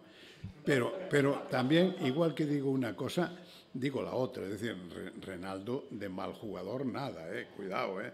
Que era un jugador de selección brasileña. Es decir, o sea, y, y es que ya llegó un momento que aquí el, el, el, tener un jugador a lo mejor de selección brasileña, aunque no fuese un super titular ni porque aquí Renaldo en media temporada marcó varios goles importantes y tal, o sea, no estuvo, no estuvo mal Renaldo, lo que pasa es que la frase aquella, claro, pasó a la historia, pero claro, claro. es que el pobre también por lo que vino, no, no le podías exigir que fuese otro Rivaldo, otro Ronaldo, otro Bebeto, ¿no? Es decir, vino por unas cantidades muy, muy, muy normales, ¿no? Había un fichaje que ya no es un fichaje relevante, pero ya que ahora que estamos hablando, que a mí me llamó la atención, que le llamaban el, el nuevo Prosinecki.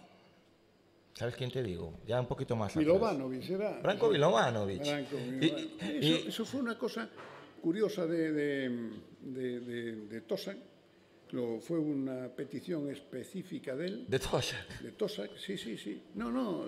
Y él, él lo, al parecer lo tenían mirado la gente de la Real Sociedad y no sé si no acertaron o lo que fuese, o el chaval no, no encajó por lo que fuese. Pero, pero sí fue una petición y además tampoco había sido una, o sea, un traspaso no. Caro. No tenía, no, hombre, caro para el rendimiento que dio. Puede ser, ¿no? Pero, pero no, fue, no fue un contrato, no, no era un traspaso caro, ¿no? Y bueno, llega, llega el, el, el, el glorioso año 2000, el año de la Liga. Uf, eso realmente, Presi, eso realmente es el... lo que hablamos antes. Yo, yo las cosas. Nada, es que tú no te tomando... emocionabas por nada, pero yo te no. veía saltar allí en el palco, adiós. No, pero no. una cosa es disfrutar del momento y otra cosa es que al día siguiente ya no te acordabas de, que habías ganado la liga. La cosa era ganarla otra vez. O, ganar la Supercopa, o ganar. Siempre, esto ya pasó. Ahora vamos a pensar en lo, en lo, en lo siguiente. ¿no? Fue, fue, siempre, pero fue en el fútbol modesto, infantil, en el hockey sobre patines, en el, en el, en el tema del fútbol profesional. Para mí la cosa es decir, bueno, sí, bien, vale, bien, ganamos, bien, perfecto, va, lo pasamos bien, saltamos bien, pa, pa, pa. Pero bueno, oye, mañana es otro día ya, ¿eh? Mañana es, lo de antes de ayer ya no vale, ¿eh? ya no vale. Y eso yo lo tenía muy, que es muy típico además en el deporte. ¿no? El deporte es de, del momento, de, de, de La gloria es efímera, como dice, como dice el Azteca Box. No, la gloria queda, la gloria queda. Lo que es efímero es el momento. El momento, has disfrutado del momento. Nosotros disfrutábamos hasta de perder la liga, coño.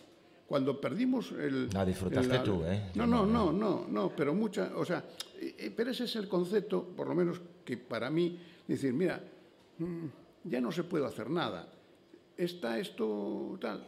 Me decía Mari Carmen Izquierdo, claro, porque habían venido todos los periodistas de España y tal, y la presidenta de, de, los periodistas era americano, que yo tenía mucha amistad con ella, y, y, me, y me, decía, decía ella, mira, esto a gusto solamente lo podéis hacer vosotros.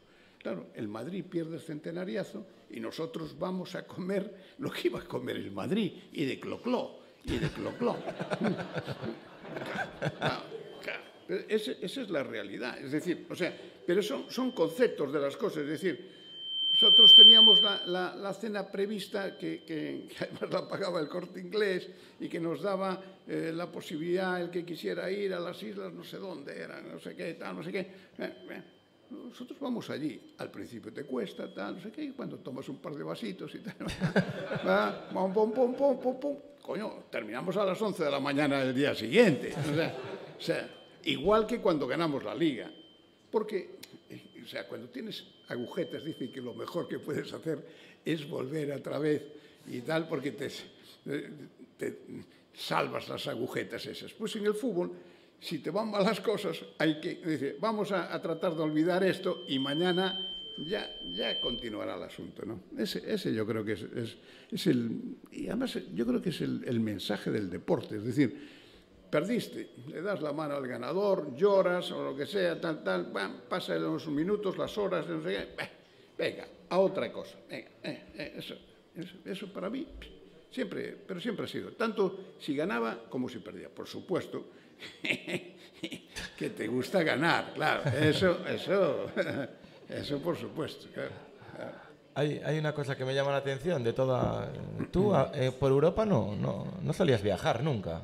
No, yo prácticamente no. no. Bueno, solamente, y, mejor era que no hubiera ido, pero, porque vino aquí Reiniero y me invitó a mí y a mi mujer, tienen que venir, no sé qué, tal. Y entonces me pareció una cosa de, de, de, sí. de, educación el ir allí. Antes de salir al campo ya nos habían marcado dos goles. Una cosa espectacular, porque tardaba en salir Reiniero y mientras no salía Reiniero, allí tiene el, el, el tienen un palco real, tienen el palco, digamos, del equipo, palco normal, después tienen el palco real, que son como, no sé, como mucho entre, debe ser, o diez eh, sillones, pero sillones de de, reales, ¿no? De, de, de real, real, reales sillones, ¿no? ¿Mm? Pero como no salían, que por cierto lo primero que vimos al llegar a ese palco era un, un Teres Herrera que había ganado el Mónaco. Un Teres Joder. Herrera, al ver eh, tal, y por la Como forma casa. de, bueno, eso tiene que ser un Teres Herrera. Me acerqué y efectivamente era un Teres Herrera. Sí, sí, lo tenían allí en el palco real. Y, y, pero fue curiosísimo. Antes oh. de salir, como no salía, como no salía, él no podía salir. Y ya nos habían metido dos goles, ¿eh? debían de ir 10 minutos. Pero es que en el segundo tiempo volvió a pasar lo mismo y cayó otro también. Lo tenías no, que meter no. para adentro. por eso. ¿Por qué no le empujaste? Fue- Pasa para fue el adentro. di- Fue el día de los ocho- del 8-3, Sí, nos dieron duro. Sí, sí, sí, sí. Nos dieron duro. Pero bueno, e- era, hombre, yo además le debía, le debía la, a la- porque el, el, el, el príncipe actual, ¿eh? Alberto, ¿no? Se llama, sí, sí, el padre era un tío serio, tal. el otro hacía la ola, el cabrón. Es decir, ya, ya verás cómo, ya verás cómo te coja la vuelta, ya, ya- ya verás. te- y, y nos quedamos con las ganas de, de- de- de cogerlos en la final, claro. Porque fue la final de que perdimos contra el contra el, el Porto. Sí. señor. Sí. Pero lo hubiésemos ganado y yo le hubiese hecho la, la- la ola, pero bueno. ah, La triple ola. Las tres Marías le hubieses hecho. Las tres Marías. no quiero ni pensarlo. Después hay aquí un- una cosa que siempre me. Cuando era un expediente X, ¿no? El Depor estuvo a punto de jugar un mundialito, ¿no? Se en 2001. se celebró aquí en sorteo y todo. Sí, Se iba a celebrar aquí en, en- en- en- en- en tal. Y después la final sería en Madrid. Sí, sí. ¿Qué pasó con eso? ¿Por qué eso no se llevó a cabo y por qué, por qué murió en, en la. Fue Traffic, Traffic era la empresa que estaba organizándolo y dio quiebra o algo por el estilo, nos pagaron cuatro duros y nos dejaron sin jugar un mundial de clubs. ¿eh? Claro. Tiene tela, ¿eh? Sí, sí, sí. Pero partido inicial era Boca, Boca Juniors Deportivo. Partido inicial. Increíble, increíble. Hubiese sido jugar una- un campeonato del mundo de clubs.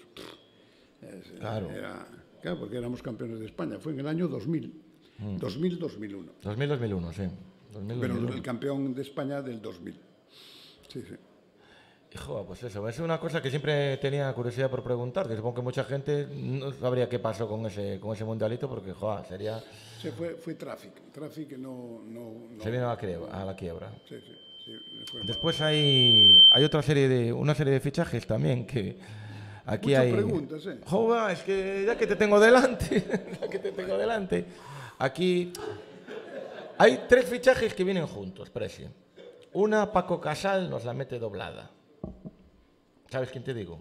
Coño, debe ser el, el, el, el Manteca, ¿no? El Manteca.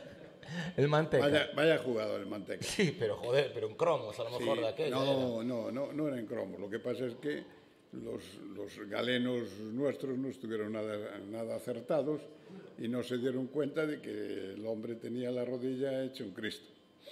Eso fue lo que pasó. Pero, joder, Manteca... Sí, hombre, sí, Manteca, máximo dolor de boca, eso sí. Ah, joder, vaya jugador. Pasa que claro, vino eso, hecho, hecho un manteca. se, se nos, se nos diluyó. Se nos diluyó. Abreu. Abreu aquí, creo que lo que estábamos aquí, o por lo menos el 90%, solo, solo viéramos en Canal Plus el gol de Abreu. ¿Cómo, Abreu- ¿cómo surge Abreu en la, a la Secretaría Técnica? Abreu, Abreu es, es el, el- el jugador que fue o sea, máximo goleador dos o tres veces en Argentina, no sé cuántas en Uruguay, no sé cuántas en México. Y aquí no se le dio, igual que a Rubén, Rubén Castro, son, son jugadores que efectivamente no estamos hablando a lo mejor de supercracks, pero Abreu es que vino con 20 años aquí y parecía un veterano, porque Abreu era un jugadorazo. Jugadorazo, no técnicamente, pero para tener un tío de referencia o algo así, incluso para defensa, o sea, defensa para defender en momentos de apuro de- de- del equipo y algo por el estilo, era como un frontón el tío. eh, era- pero tenía 20 años, tenía 20 años cuando vino para aquí y era máximo goleador de Argentina. Y eso no se lo regalan a nadie. eh. No, no- Pero ¿quién os no habla- va- quién os habla de él? No se da en el corte inglés. ¿Quién os habla de él? Ah, era un jugador súper cotizado. Ya, Joder, eh. pues yo- Hombre, ya te estoy diciendo, el dato era Sí, que sí, el sí, máximo, máximo goleador, goleador. de Argentina. O sea, es decir, eso, ¿qué más, qué más puedes, qué más puedes pedir, no? O sea, era un jugador increíble, o sea, increíble dentro de su estilo. ¿M? Sí, sí. Y el tercer No sé cuántas veces internacional por Uruguay y tal. Lo que pasa es que aquí ya llegó un momento que, que si no eran eh, el Titi y tal, ya, ya, pasaba, ya pasaba a ser un desastre. Ah, este no vale para nada, tal, sé qué. porque es que estamos, mm, estamos a un nivel verdaderamente Sí, muy alto. muy alto y, y- y en muchos casos jugadores que no son, eh, digamos, muy bonitos de ver, como era el caso de Abreu. ¿no? Abreu era un jugador para tenerlo para lo que necesitases, no era el jugador clásico que te gusta ver. ¿no? El fútbol se ve y se, se escribe con B de Brasil, o sea, decir, o sea, o sea, los demás dan tabaco, o sea, juegan, juegan de otra forma. tal. Ahora, si quieres ver espectáculo, no sé qué, tienes que ir a, a Brasil. claro. Y el tercer, Aquí montamos el Sambódromo. ¿eh? y el tercer fichaje, que vinieron todos en la misma terna, Scaloni. Scaloni. Scaloni, sí. venía de ser campeón sub-20 con Argentina. Vente, ¿eh? Argentina, sí, señor. Sí, sí, sí, un gran, o sea, era un, un fichaje así de, de, digamos, de gente joven, ¿qué tal? Porque eh, era, estás hablando del año que nos llevan a Rivaldo, que se lesiona Martins, que, eh, que tiene, y de repente desaparecen 50 goles del Deportivo, entre Rivaldo y Martins, Sí. se- 45, 50 goles menos. Entonces hay un momento que llegamos a tener problemas cuando salíamos para ser, es cuando llega el año que llega ya Miña y el año que, que pensabas que podía ser campeón y estás a punto de poder descender. Y entonces es cuando todo el mundo se pone un poco nervioso y tal, y hay que tomar decisiones en el invierno, y el invierno no es época para tomar, para tomar decisiones, porque los que tienen buenos jugadores en el invierno no te los dejan salir. ¿eh? Si son jugadores que le representan a ellos, tal. Bueno, y ese, ese fue. Y entonces eh, Scaloni viene en esa tal como jugador de futuro y buen jugador, jugador de, de- de mucha garra y tal, ¿eh? y, y da muy buen resultado, ¿no? Ya no digamos ahora como entrenador, ¿no? Y tú, que bueno, mm, ¿qué tal es tu relación, por ejemplo, con, tu, con Manuel Pablo? Manuel Pablo Muy buena. Es muy buena.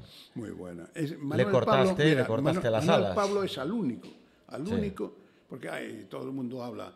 Es que mm, a mí no me dejaron salir me acuerdo que tenía un amigo eh, que, que nos reuníamos y tenía mucha, mucha gracia, porque yo a todos les ponía 10.000 euros, 10.000 millones, 10.000 millones de cláusula. De, de cláusula, 10.000 millones. Y un amigo que tenía mucha gracia, que es un doctor de la piel y tal, me decía, sí, oye, ya me he enterado de que Alfredito llamó a su madre y dijo, mamá, no me dejan salir de aquí, tengo que pagar 10 mil millones y tal. y esa, esa era la... la- no, no era... No sé, el- no sé qué me preguntaba. Manuel Pablo, Manuel que le cortaste las A alas, ese- digo. a ese fue al único que mm, de oferta verdaderamente importante de traspaso que le corté yo la salida. ¿Cuánto daban? eso, daban primero cuatro ah, mm, Valdano me llama a mí y me dice cuatro mil millones de pesetas Por un lateral, ¿eh? por un lateral. Y, y- y el, pero eh, tiene varios años de contrato en ese momento Manuel Pablo.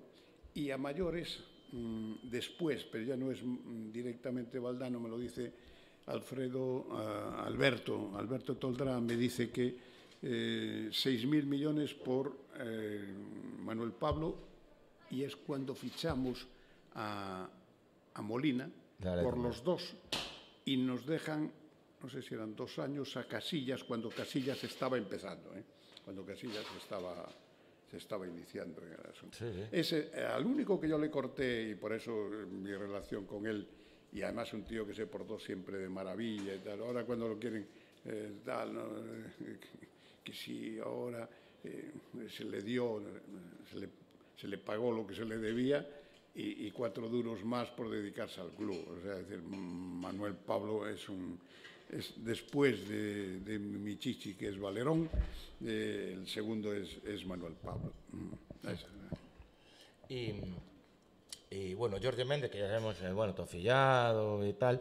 Pero mi, mi pregunta es, el primera transacción, lo sabemos, la hace contigo con uno, con un Espíritu Santo, pero ¿por qué toca tu puerta? ¿Tú ya conocías a Jorge Méndez antes? No, no, no. no. por qué toca la puerta Él del empieza, él empieza ahí, me imagino que a lo mejor fue a otros sitios también, no lo sé. Ah. Pero el que aquí venía casi, casi, eh, no voy a decir a diario, pero muy a menudo, sí. Sí, sí, y mantuvimos siempre muy buena relación. Eh, a la boda de él me, me, me, invitó a mí y solamente estábamos Florentino, Laporta, en aquel momento estaba todavía, bueno, no sé si estaba, ay, ah, Begiristain, pero por el, por el, por el City, sí. y, y, Miguel Ángel Gil, estábamos de España, estábamos solamente nosotros. Sí, sí. Y después hay una cosa muy curiosa, eh, Presi, también un fichaje, que tú le tienes más peligro que una piraña en un, en, en un váter. ¿Qué te pasa cuando te dejan solo en un taxi? Ah. ¿Ahí qué pasó? Ah. Ahí te dio por pensar, ¿no? No, no, no me dio tiempo a pensar. Pero cuéntale a la gente qué es lo que pasó. No, bueno, no, eh, fue en el traspaso de, de, de Macay. Bueno, más que el traspaso, cuando estábamos negociando el tema de Macay con el Bayern, y el Bayern eh, se desplazó, pues era Jones, era Rumenigen, y estaba el representante de ellos que además dominaba una serie de, de, de idiomas, que no es mi fuerte precisamente, lo de los idiomas. Eh, yo me quedo con el gallego y el español y, y, y con dificultades. y, el, y, y, entonces, claro, me hace unas ofertas que eh, tal, no sé qué, tal, termina mal la, la jugada. Y, y entonces, bueno, pedimos dos taxis que ellos van en uno y yo voy en otro. Entonces llega el primero y lo cogen ellos y dice, esto te va a costar un millón más. y me costó, ¿eh? Me costó. Y, y, estuve a punto de ponerle dos, pero bueno, ya, ya, no quise. Era, era, no quise forzar. La, ¿Era lo que más te gustaba, las negociaciones? Era, ¿Te lo pasabas bien? No, hombre, no, no es que pasase bien o mal. Unas veces te salía la cosa bien, otras no tanto, pero e, e, era tu obligación, ¿no? O sea, a mí me acuerdo cuando fue la de negociación con Miguel Ángel Gil, estaba Miguel Ángel Gil Clemente, era el, el, el director general, y el director deportivo era García Pitarch, García Pitarch, era García Pitarch, el, el director deportivo, y yo estaba solo, estaban ellos tres en el Hotel La Bascal de Madrid, estábamos los tres discutiendo allí y tal, y, y dice Miguel Ángel, mira, este es un tres en uno. Claro, yo, yo esas negociaciones las hacía yo siempre solo, salvo que hubiese alguna circunstancia especial de, interpret, de intérpretes o algo por el estilo, si no, siempre, siempre las hacía solo. Siempre las hacía solo. Sí, sí, sí, pero bueno, no, no era ni que te gustasen especialmente ni que te dejasen de gustar, era tu obligación y te, te adaptabas a eso. Había una cosa que estuve mirando que me quedé bastante... Mucho sorprendido. miraste. Sí, pero si yo soy, soy, un tío curioso. Y eso que no veo, ¿eh? Si llego a, mi, a mirar bien... ¡Joder!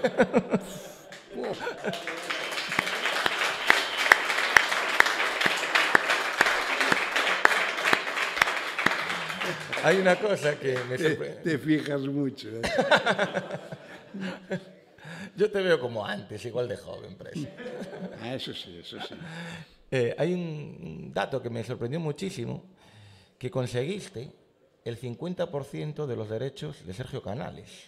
Ah, sí, sí, sí. Joder, cuando era cadete. Era cadete, de primer año, sí, sí. sí, sí. Madre mía, fijarse, bueno, ostras. En el contrato de, de Munitis entramos con, con, ese tema, sí, sí.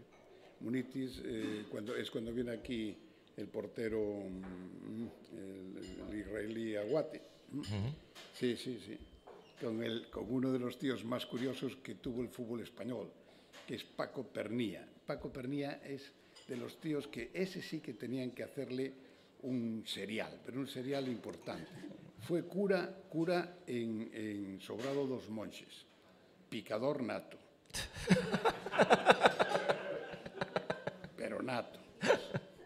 Eh, eh, fue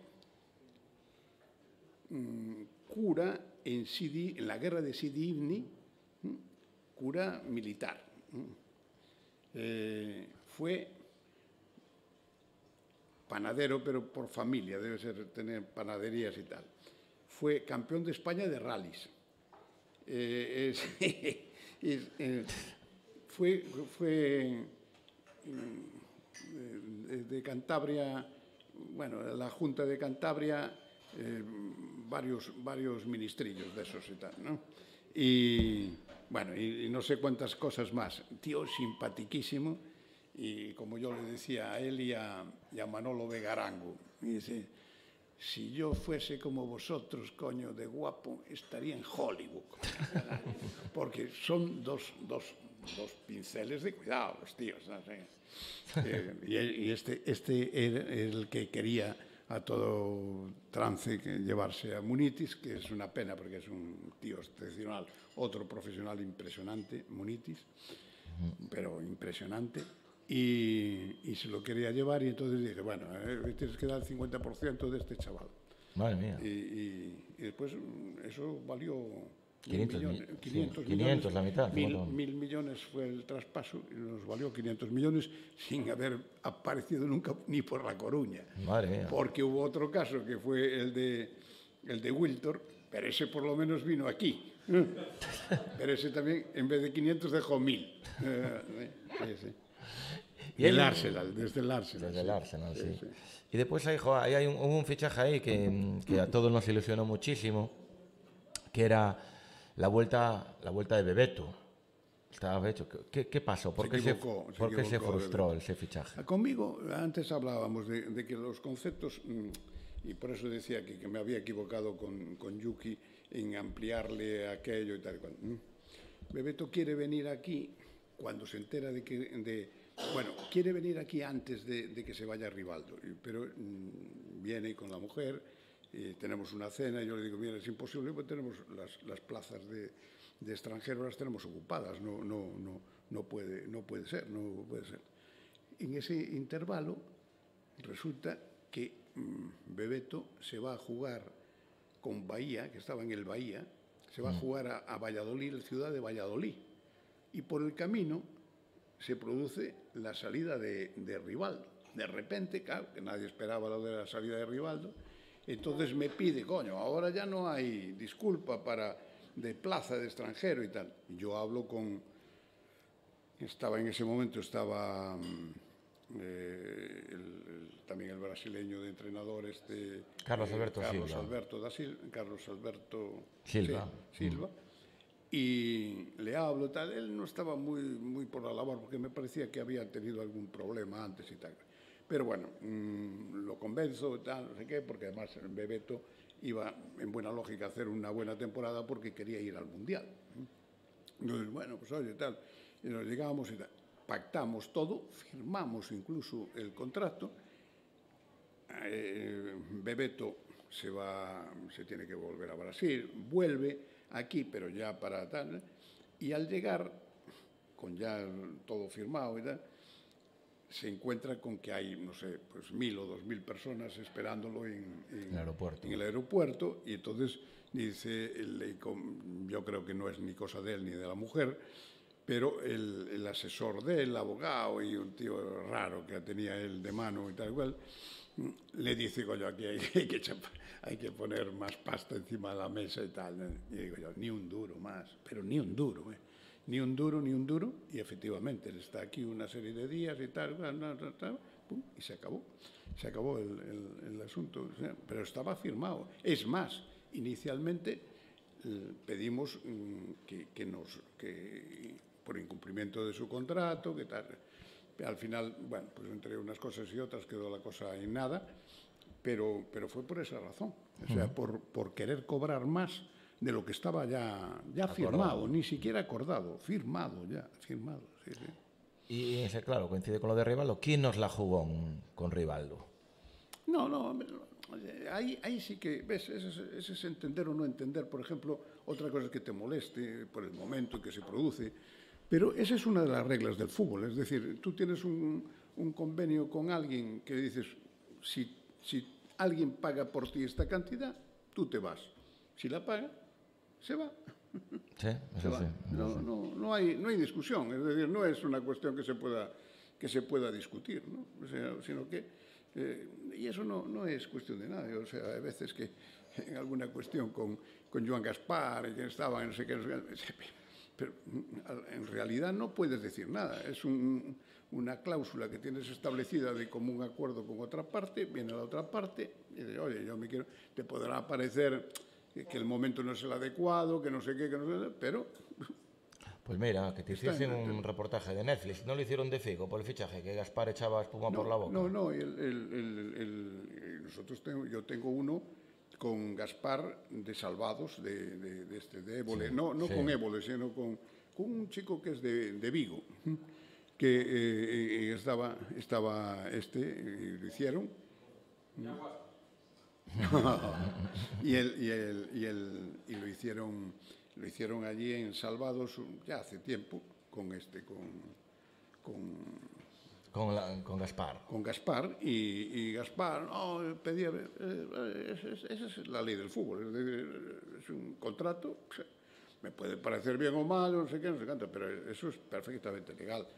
Otra cosa es si hay otros artilugios extraños, ya es distinto, pero si no, o sea, yo pagué lo que estaba establecido, bien, pues, pues no, no hay otra cosa que, que, aceptarlo. Te podrá parecer bien o mal, pero, pero nada más. O sea, pero, pero es, es, legal, totalmente legal y normal. ¿no?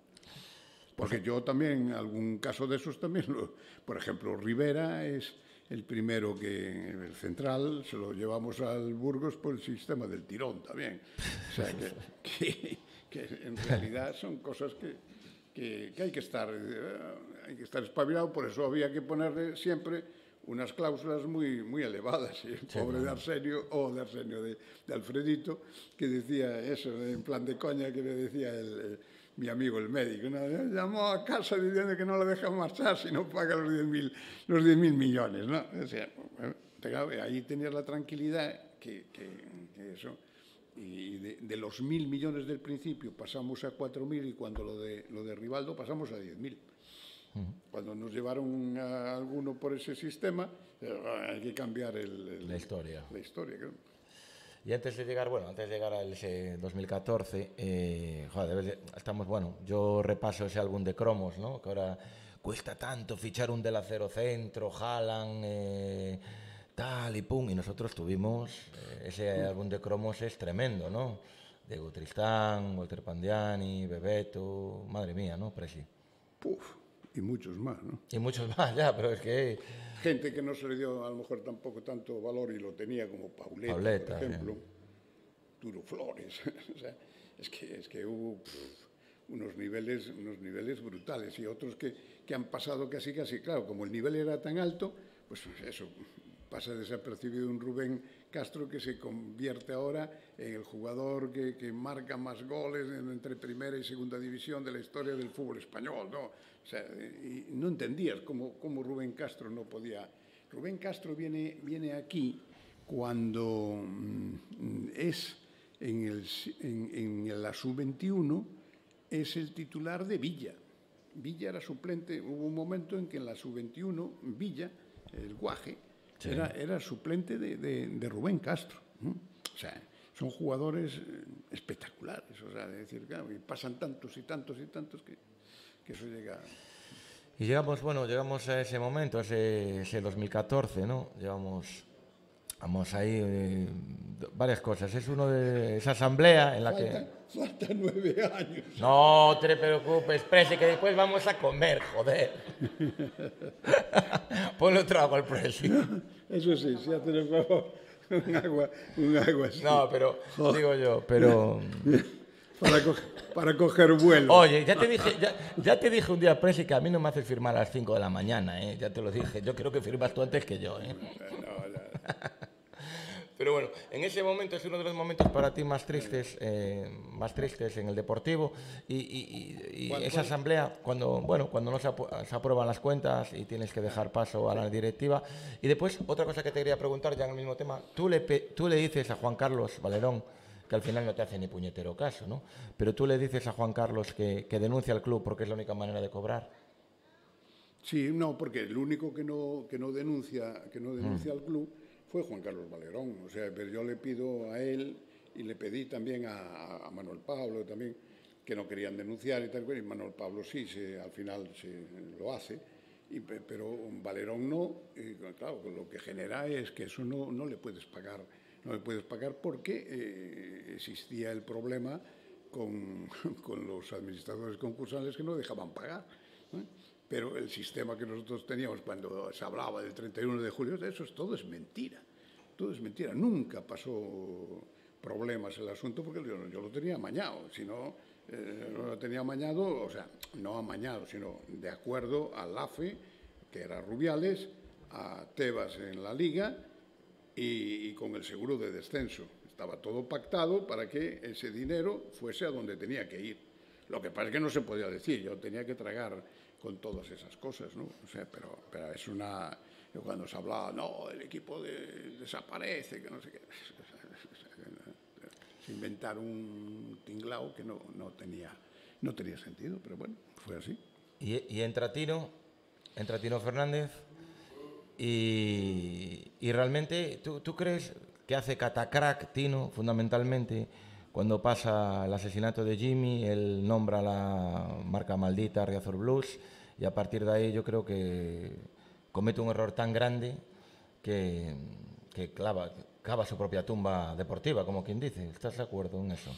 Bueno, Aparte yo, creo, yo creo que son dos cosas distintas. La, la, Pero la, lo social... El asunto de, de Jimmy socialmente seguramente es un golpe durísimo para la afición, sin duda ninguna, y, y lo otro es una actuación de fichajes deportivos que dan o no dan resultado. O sea, ya, pero ya son, son cuestiones para mí totalmente independientes, ¿no? Es decir, bueno, y aparte que, que, se prolongan también en el tiempo, no es una cuestión que se produzca en unos meses, sino que eh, esas consideraciones deportivas se producen en, en, una serie de años, ¿no?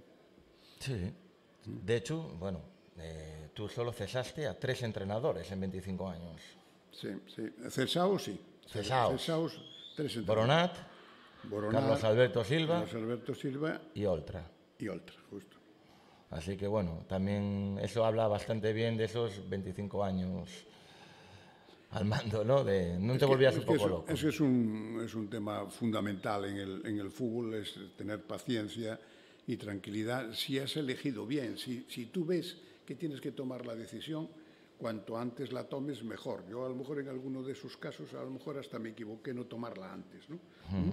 Pero, pero el, lo que sí es cierto es que cuando lo que no puedes es adelantarte a, a los acontecimientos y tú ves que ese entrenador está respondiendo y que la, la, gente está con él. En el momento que pierde el mando del vestuario, ahí, ahí sí que ya es, eres hombre muerto. O sea, el entrenador si pierde el, el vestuario, donde además, como yo, igual que otros muchos, me imagino, le doy el 100% de, de, de, actuación. Es decir, yo no me quedo ni con el 1%. ¿no? Lo que hagas en el, en el campo, o sea, en esa, en esa zona, bien hecho está. Es decir, no es una cuestión que yo vaya a pedirte. No bajabas al vestuario. Nunca, no bajabas nunca, al nunca, solamente bajé una vez porque vi que iba a producirse algo parecido a lo que había ocurrido con los famosos empates antes del Valencia, que el empate era bueno hasta que el empate no llegó. Y eso estaba ocurriendo el año que ganamos la liga y bajé un día, le pedí autorización a, a, a Irureta para, para para bajar y hablar cinco minutos, diez como máximo al jugador, porque era decirle cuatro chorradas, es decir, no, no, no es darle una filípica ni nada por el estilo, es decir, cuidado, lo tenemos todo a favor, somos los mejores, llevamos puntos, el calendario es el mejor, a ver si lo vamos a perder otra vez, o sea, cuidado. Sí. Y yo creo que, que, que esas, a veces, cosas de esas puede ser importante, pero cuanto menos hable el presidente, mucho mejor en el vestuario. Después, con los capitanes o con otra cosa, otra en cosa. los momentos determinados que tenga que hablar y decir cosas, bien como cosas, pero como cosa muy especial y muy excepcional. O sea, el, el, el, el famoso caso, por ejemplo, cuando Aguate y Munúa, tal, sí. eso es cosa del entrenador. Y si quiere, eh, si no lo resuelve él de, de tal, que me lo diga, o sea, que mande un escrito diciendo que tomemos medidas en esto, tal, tal, tal, tal. bien, tomamos. O, o si Yalmiña en un momento determinado eh, le acerca la cabeza sí. o no sé qué, no sé cuánto, tal. Bueno, pues son cosas que tiene que lidiar él, o sea, porque si te metes ahí es como si te metes en relaciones de pareja, ¿no? Vas a terminar mal, seguro, seguro, pero seguro. Pues, eh, pues sí, ¿no? A mí me contó Víctor, Víctor Sánchez del Amo, que el partido que nos salvamos 2-2 en, en, Barcelona, ah, en Barcelona. Eh, entró como un basilisco en el vestuario. ¿Qué estáis haciendo? Joder, vamos a descender. Lo tuvieron que sacar del vestuario, Claro, claro, Fernández. claro. Imagínate, cuando, entre comillas, Es que eso, es que eso, eso es muy duro. O sea, ¿eh? duro, el, el sí. vestuario es, es, es sagrado para los jugadores y el entrenador. Y, y utilleros, la gente de- de- del vestuario. Eso, eso va a misa, ¿no? O sea, otra cosa es que fuera de eso tú tengas que tomar medidas o un caso de ex- excepcional que digas, coño, esto tengo que tomar esta medida porque si no esto se, se nos viene encima o un problema a lo mejor con el público o algo por el estilo, ¿no? Sí. Eso, eso sí, pero nada más, ¿no? Y lo último, Percy, ya para finalizar, que ya veo que te, estás, te vas a, ver- a tomar todas las aguas del cine de París. Eh, quería preguntarte, bueno, ya sabemos la situación actual del Deportivo, pero ¿cómo ves tú el futuro, el futuro del Deport? ¿Cómo ves el futuro? ¿Cómo, o que, lo que te imaginas tú? ¿Tú en tu día te imaginaste algo del, del Deport? ¿Te imaginaste el Super Deport? ¿Qué te imaginas tú?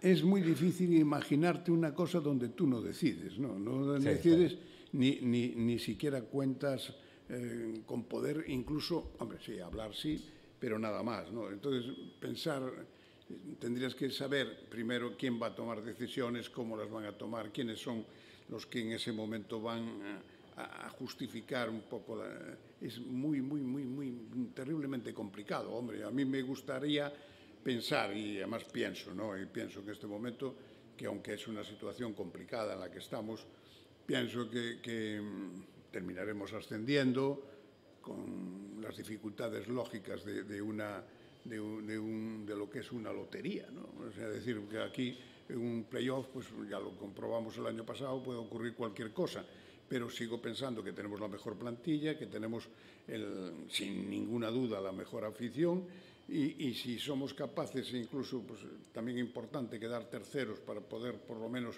el primer partido, el segundo encuentro disputarlo en casa, ¿m? pero mm, siempre será una lotería. Es decir, ese, ese, el tema del playoff yo siempre pensé que íbamos a ascender directamente y además sin, sin ninguna duda, pero por las desgracias, de- porque hasta estos últimos momentos tuvimos todo a favor. Lo que pasa es que fallaron los demás, pero fallamos nosotros también. Con lo cual ahí, ahí se, se armó todo, se armó todo el lío, ¿no? Pero mm, es muy difícil el pensar lo que ojalá, ojalá tomen cartas de verdad en el asunto, los únicos que lo pueden tomar, porque aquí, ¿qué, puede pasar? Pues será lo que crea a banca que, debe ocurrir y, lo que apueste a banca por un entrenador, por, por una plantilla, no sé, es que por una dirección deportiva, en fin, están en este momento, es exclusivamente es una pregunta que yo creo que el único que lo puede contestar como cabeza visible de la banca será el señor Escoté o aquellos a los que le encargue esa, esa decisión, porque los demás es que no, no, no es una cuestión que puedas tomar tú y, y pensar qué puede ser en este momento. Si tú fueses el que tomases decisiones, está claro que muchas de las decisiones que se han tomado con anterioridad no las hubieses tomado y entonces estarías a lo mejor en unas condiciones completamente distintas ahora y con la ilusión. La gran ventaja que hay, que es impresionante lo de la afición, impresionante. Yo incluso creo que, que estamos viviendo a efectos de afición más incluso que la mejor época que hemos vivido, o sea, ya en la época, digamos, de Champions y tal, igual, la afición es increíble, pero increíble, increíble. Entonces, es apoyarte en ella y a ver hasta dónde te puede, te puede llevar. Pero te da pena que no haya un- una línea marcada de decir, señores, aquí, y, y alguien que, que lo diga, tengas eh, la, la autorización y la, y la fuerza moral de que los que estamos detrás eh, podamos entenderlo y creerlo. ¿m? Y, que, y que te den esa ilusión que creo que es lo que necesita hoy en día, o sea, una afición que es increíble, o sea, que vaya 20.000 personas en segunda B a, a- a ver al Deportivo y que y ves la ilusión, la cantidad de niños pequeños. Yo nunca vi tantos niños pequeños en el, en el fútbol, o sea, es una cosa verdaderamente increíble. ¿no? Es parte de tu legado. Pero sí, posiblemente Es verdad. tal, porque algunos, algunos le dirán, papá o abuelo, no me cuentes batallas, que esto no, que no ocurrió nunca. ¿Eh? porque estoy convencido de que muchos de los chavales no, no, no se lo creen. No se o lo sea, creen. es decir, los críos decir, "Bah". Yo me acuerdo de Pepe Guillín, que sabía que era verdad cuando eh, el- en la Orquesta Canaro, que durante unos minutos fuimos campeones de liga y tal, yo lo sabía que era verdad, pero por tomarle el pelo a Pepe Guillín, eh, Pepe Guillín me decía, tal, no sé qué, pero Pepe, no me cuentes batallas, hombre, pero mira, que estamos peleándonos eh, eh, para ver si ascendemos a primera, si ascendemos a ver si no bajamos, y tal, y tú me vienes hablando que, que hubo un año que fuimos campeones, tal, en plan de broma, y decir, bueno, pues los chavales, yo creo que, que habrá muchos que dicen, pava, abuelo, no me cuentes batallas, coño, eh, coño, me vienes con que- el Deportivo que ganó la Liga, que ganó la Copa, o que estuvo en Champions, que ganó el Milán. Ah, no, no, Tú lo soñaste, hombre, tú lo soñaste. Eso, eso es lo, triste. Y te da, mucha pena, o sea que, que eso no, no, no, no le den la, importancia que tiene, porque puede llegar también un día que, que- y yo eso sí que lo he vivido de cerca, cuando iba más gente a ver el hockey, que no se veía la bola, no se veía la bola, que la gente cantaba gol cuando, cuando se movía la red. Y a veces era el portero el que le daba, el que le daba con el brazo el tal, y no era la bola la que entraba. ¿eh? Y iba más gente a ver el hockey que, ir a- que iba a ver el fútbol. Y eso, eso es durísimo. Y- y claro, si no pones freno, pues puede volver a ocurrir, claro. Puede volver a ocurrir. Pues nada, Presi, pues muchísimas gracias por...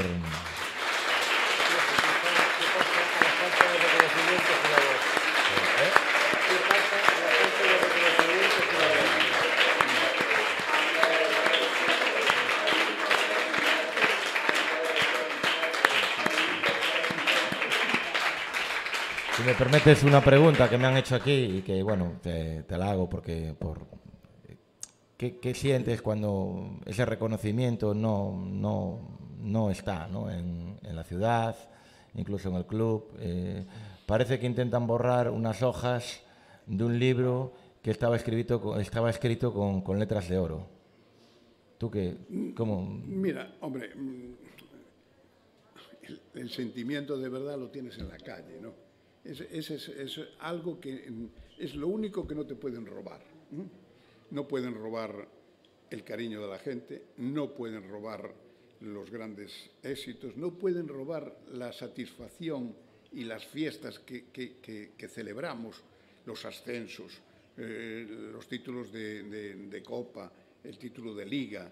Eh, mm, a mí, yo estoy a punto de cumplir 78 años. Yo no recuerdo ni de lejos, ni de lejos, pero ni de lejos es, es años y años y años luz una celebración en La Coruña que, sea ni la, die- ni, el décim- ni la décima parte, ni el 10% de lo que celebramos simplemente con uno de los ascensos. Ya, ya no nos metamos incluso en los otros, en los otros cuestiones. Sería seguramente, a lo mejor en otros momentos, ascensos que yo ya no pude a lo mejor eh, ver o algo por el estilo. Pero eso te, demuestra la importancia que tiene el deportivo y que esa fiesta no se le puede negar absolutamente a nadie y ojalá la celebremos, aunque sea de segunda B a segunda, eh, y la celebremos de verdad, porque eh, está bien las fiestas de María Pita, las fiestas de no sé qué, no sé cuánto, pero es lo único que no nos pueden robar. Lo otro, si puede el oráculo, te lo robará. Pero, pero la- el sentimiento de la gente no te lo roba nadie.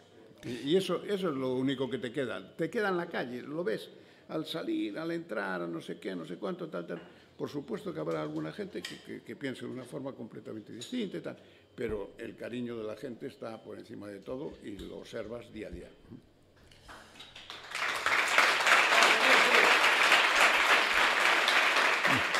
Pues, pues yo quiero, yo quiero agradecerte en mi propio nombre y en el nombre de muchos, el que nos has hecho sentirnos los mejores, el que nos has hecho soñar, el que nos has hecho querer al deporte, no al fútbol, el que nos has hecho sentir a Coruña en cualquier punto del mundo al que íbamos y nos decían Deportivo de la Coruña y nos tratábamos como nos trataban como si fuésemos de ese lugar. Yo quiero agradecerte y todos queremos agradecerte, pero en este mi caso yo yo vi al Deportivo levantar una liga, yo vi al Deportivo eh, levantar una Copa del Rey, vengan próximos presidentes o no, yo ya no lo voy a poder ver porque mis ojos no lo van a poder ver, pero tú sí me has enseñado cómo José Ramón levanta una liga, una Copa del Rey y cómo todos esos jugadores han levantado una liga y me sentí me sentí por un momento la persona más feliz del mundo después del nacimiento de mi hijo y otras muchas cosas.